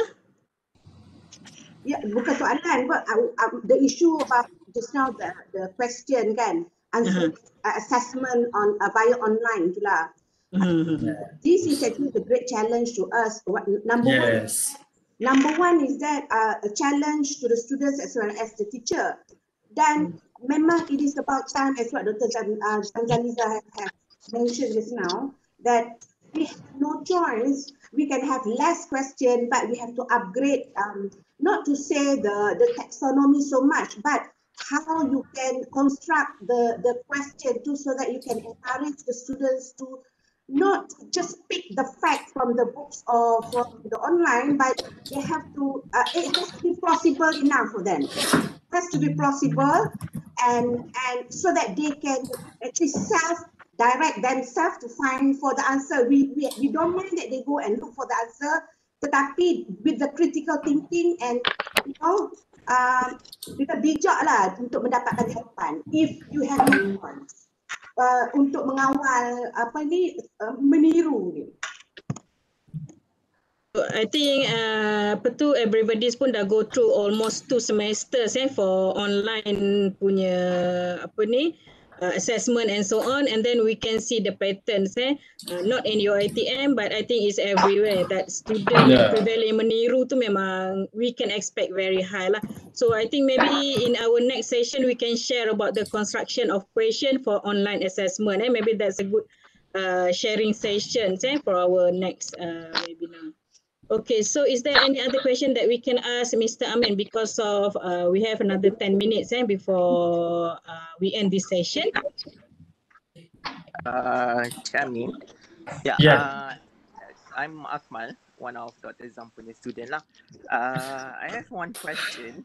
Uh, yeah. Uh, is there any tips or any uh, what software that you can share to us who are using Macs to make our slide more interesting to us for pre- to present.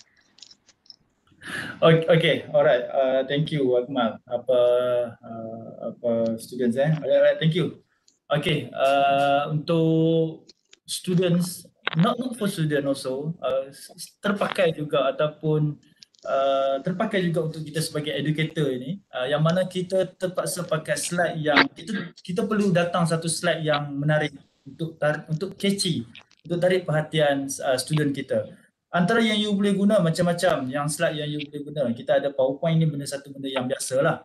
Uh, lagi satu uh, you boleh maybe you boleh come up dengan uh, video. Uh, lagi satu you boleh pakai Prezi.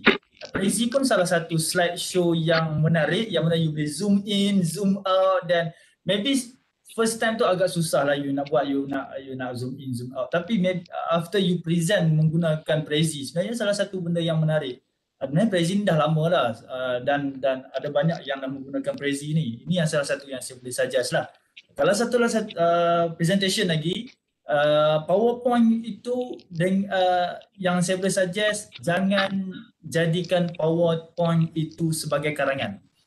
Uh, dah nama dia pun PowerPoint jadikan PowerPoint yang power.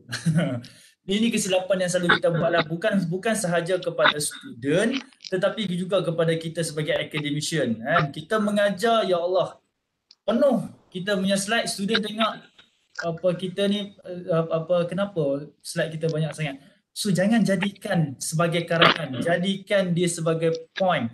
Bila nak jadikan karangan, kita akan lampirkan satu uh, buku ke yang lain. Uh, bila kata PowerPoint, you just buat dalam bentuk point. Dan pastikan ada banyak gambar. Gambar yang catchy gambar yang boleh menarik uh, perhatian uh, kita punya uh, apa nama evaluator uh, you punya lecturer ke you punya ni lah okay? So daripada situ sebenarnya uh, you ada grafik sikit. Sebenarnya itu salah satu yang dia sebenarnya lebih macam saya cakap dah lebih berbentuk subjektif atas kreativiti orang di situ untuk membentuk satu PowerPoint yang PowerPoint yang sangat-sangat menarik. Dan salah satu yang saya advise tadi adalah dapatkan PowerPoint yang interesting tadi tu dengan cara you beli ke uh, macam tadi saya ada share link kan cara you beli ke so daripada situ you boleh copy grafik-grafik di situ masukkan dalam PowerPoint you. Uh, ini salah satu bentuk yang valid lah yang agak tak valid tu yang selalu kita guna adalah kita pergi Google, kita search uh, gambar apa-apa, kita ambil, kita copy masuk. Ni gambar tu ni tak valid ni kalau kata kita publish ke mana-mana sebab gambar tu umum kan. Uh, ada dia punya tuan badan dia. Tapi bila kita beli grafik yang kita beli then it's more. It's up to you. You nak update, you nak cantikkan macam mana, it's up to you. Uh. Okay, so thank you so much for the answers. So I think uh, I will let the last questions for the participant. Hello, Assalamualaikum. Salam ya.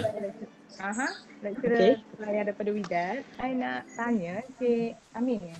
Ya. Yeah. Uh, Cik Amin tentang actually it's good uh, idea yang uh, Encik Amin share tadi. Maksudnya the test uh, we are running for 24 hours. So it's quite applicable for for nursing Malaysia ni I rasa. Yeah. it's quite applicable also. But the thing is we can uh, apply this uh, point of view in our colleagues And uh, one more thing that I want to emphasize here, once I teach the students, uh, most of the students are still don't have the, the equipment, meaning that the, the capacity of the uh, laptop. For example, uh, they cannot read. For example, macam I sekarang ni kan, uh, I buka Webex pakai laptop. Then sometimes I can hear you, but sometimes I can't. I using full approach, meaning that I'm using laptop and I'm using handphone at the same time. Yes. So if yes. I'm using laptop itself, I cannot fully to get your information. The same thing also to our students. Yeah. Uh, because they are anywhere in Malaysia.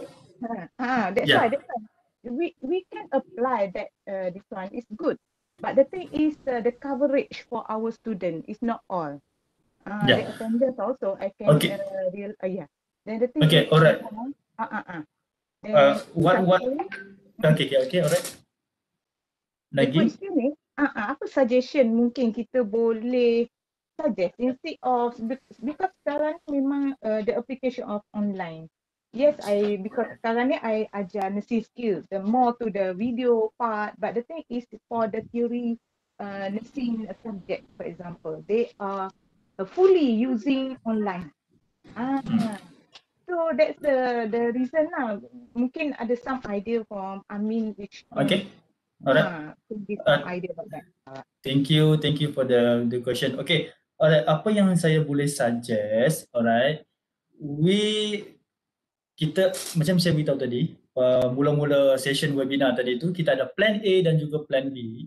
So untuk yang plan A kita akan buat live streaming macam sekarang lah. So student akan perlu hadir secara bodinya live streaming di depan di depan laptop, depan komputer. Tetapi kita tak boleh assume semua student adalah sama macam kita. Uh, maybe kita ada unify dekat rumah. Student-student tak ada unify semua tu kan. Maybe. So apa yang saya boleh suggest untuk plan A, yes, you can go for that.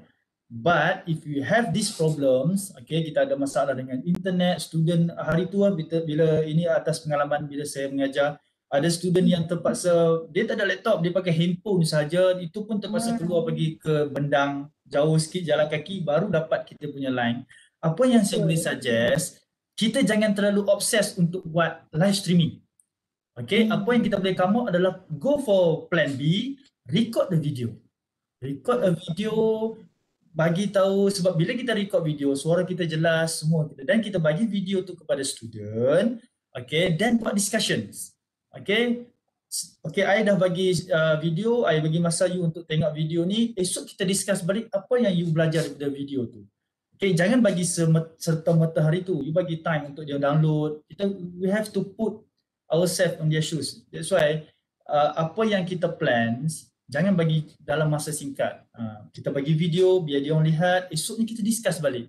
Uh, ini plan B. Kalau kata semua student boleh forgo uh, boleh for boleh go for plan A then it's okay. Pergilah pada plan A. Buatlah secara live streaming. Tapi kalau ada masalah macam ni, jangan kesian kepada student yang tak dapat join sekali. Dia rasa tersisih. Dia rasa tersisih sangat kawan-kawan semua dah masuk, dia tak masuk. So, itulah saya boleh suggest online teaching ini very subjective. It's very subjective. Jangan straight to stick to one only. Go for another option. Means that kita tak stress, student pun tak stress. Happy go lucky hmm, semua. Right. InsyaAllah. InsyaAllah Mr. Amin for your valuable idea. Thank you. Uh, thank you. Okay, so I think uh, that's all for today's session. Eh? So there's lots of uh, very constructive questions, eh? very informative answers from uh, Mr. Amen. So with that, I would like to thank you, Mr. Amen, and thank you everyone for attending today's webinar. For your information, we have approximately uh, 800 participants eh, that joined our session today uh, both in WebEx meeting as well as uh, YouTube live. Eh? So on behalf of UITM and the Malaysian Nursing Council of Public Universities, thank you for joining us today and have a great rest of your day. Stay safe and see you in our next webinar series. Eh? So don't forget to fill up the attendance form. You will receive the e-certificates immediately. Eh? And then for slides, um, we will try to get it from Mr. Amen. okay, and then uh, I will email the secretary, Terry will email the uh, QR code eh, for all participants so that you can get the uh, slide as well as for the radio video recording i think it will be available in our youtube channel eh? please go to and visit our youtube channel nursing uitms eh? so i think that's all. Thank you so much for your uh, participation. See you next seminar. Thank you. Thank you, thank you. okay thank you everyone. Thank you. thank you amen thank you. yeah. Thank you. All amen Thank you, thank you semua. Okay, thank you very much, Pada Amin. Thank you. Thank you very much, Thank you, Dr. Zamzana. Thank you, Amin dan organizer. Thank you, Mr. Amin. Thank you. Thank you, Mr. Amin.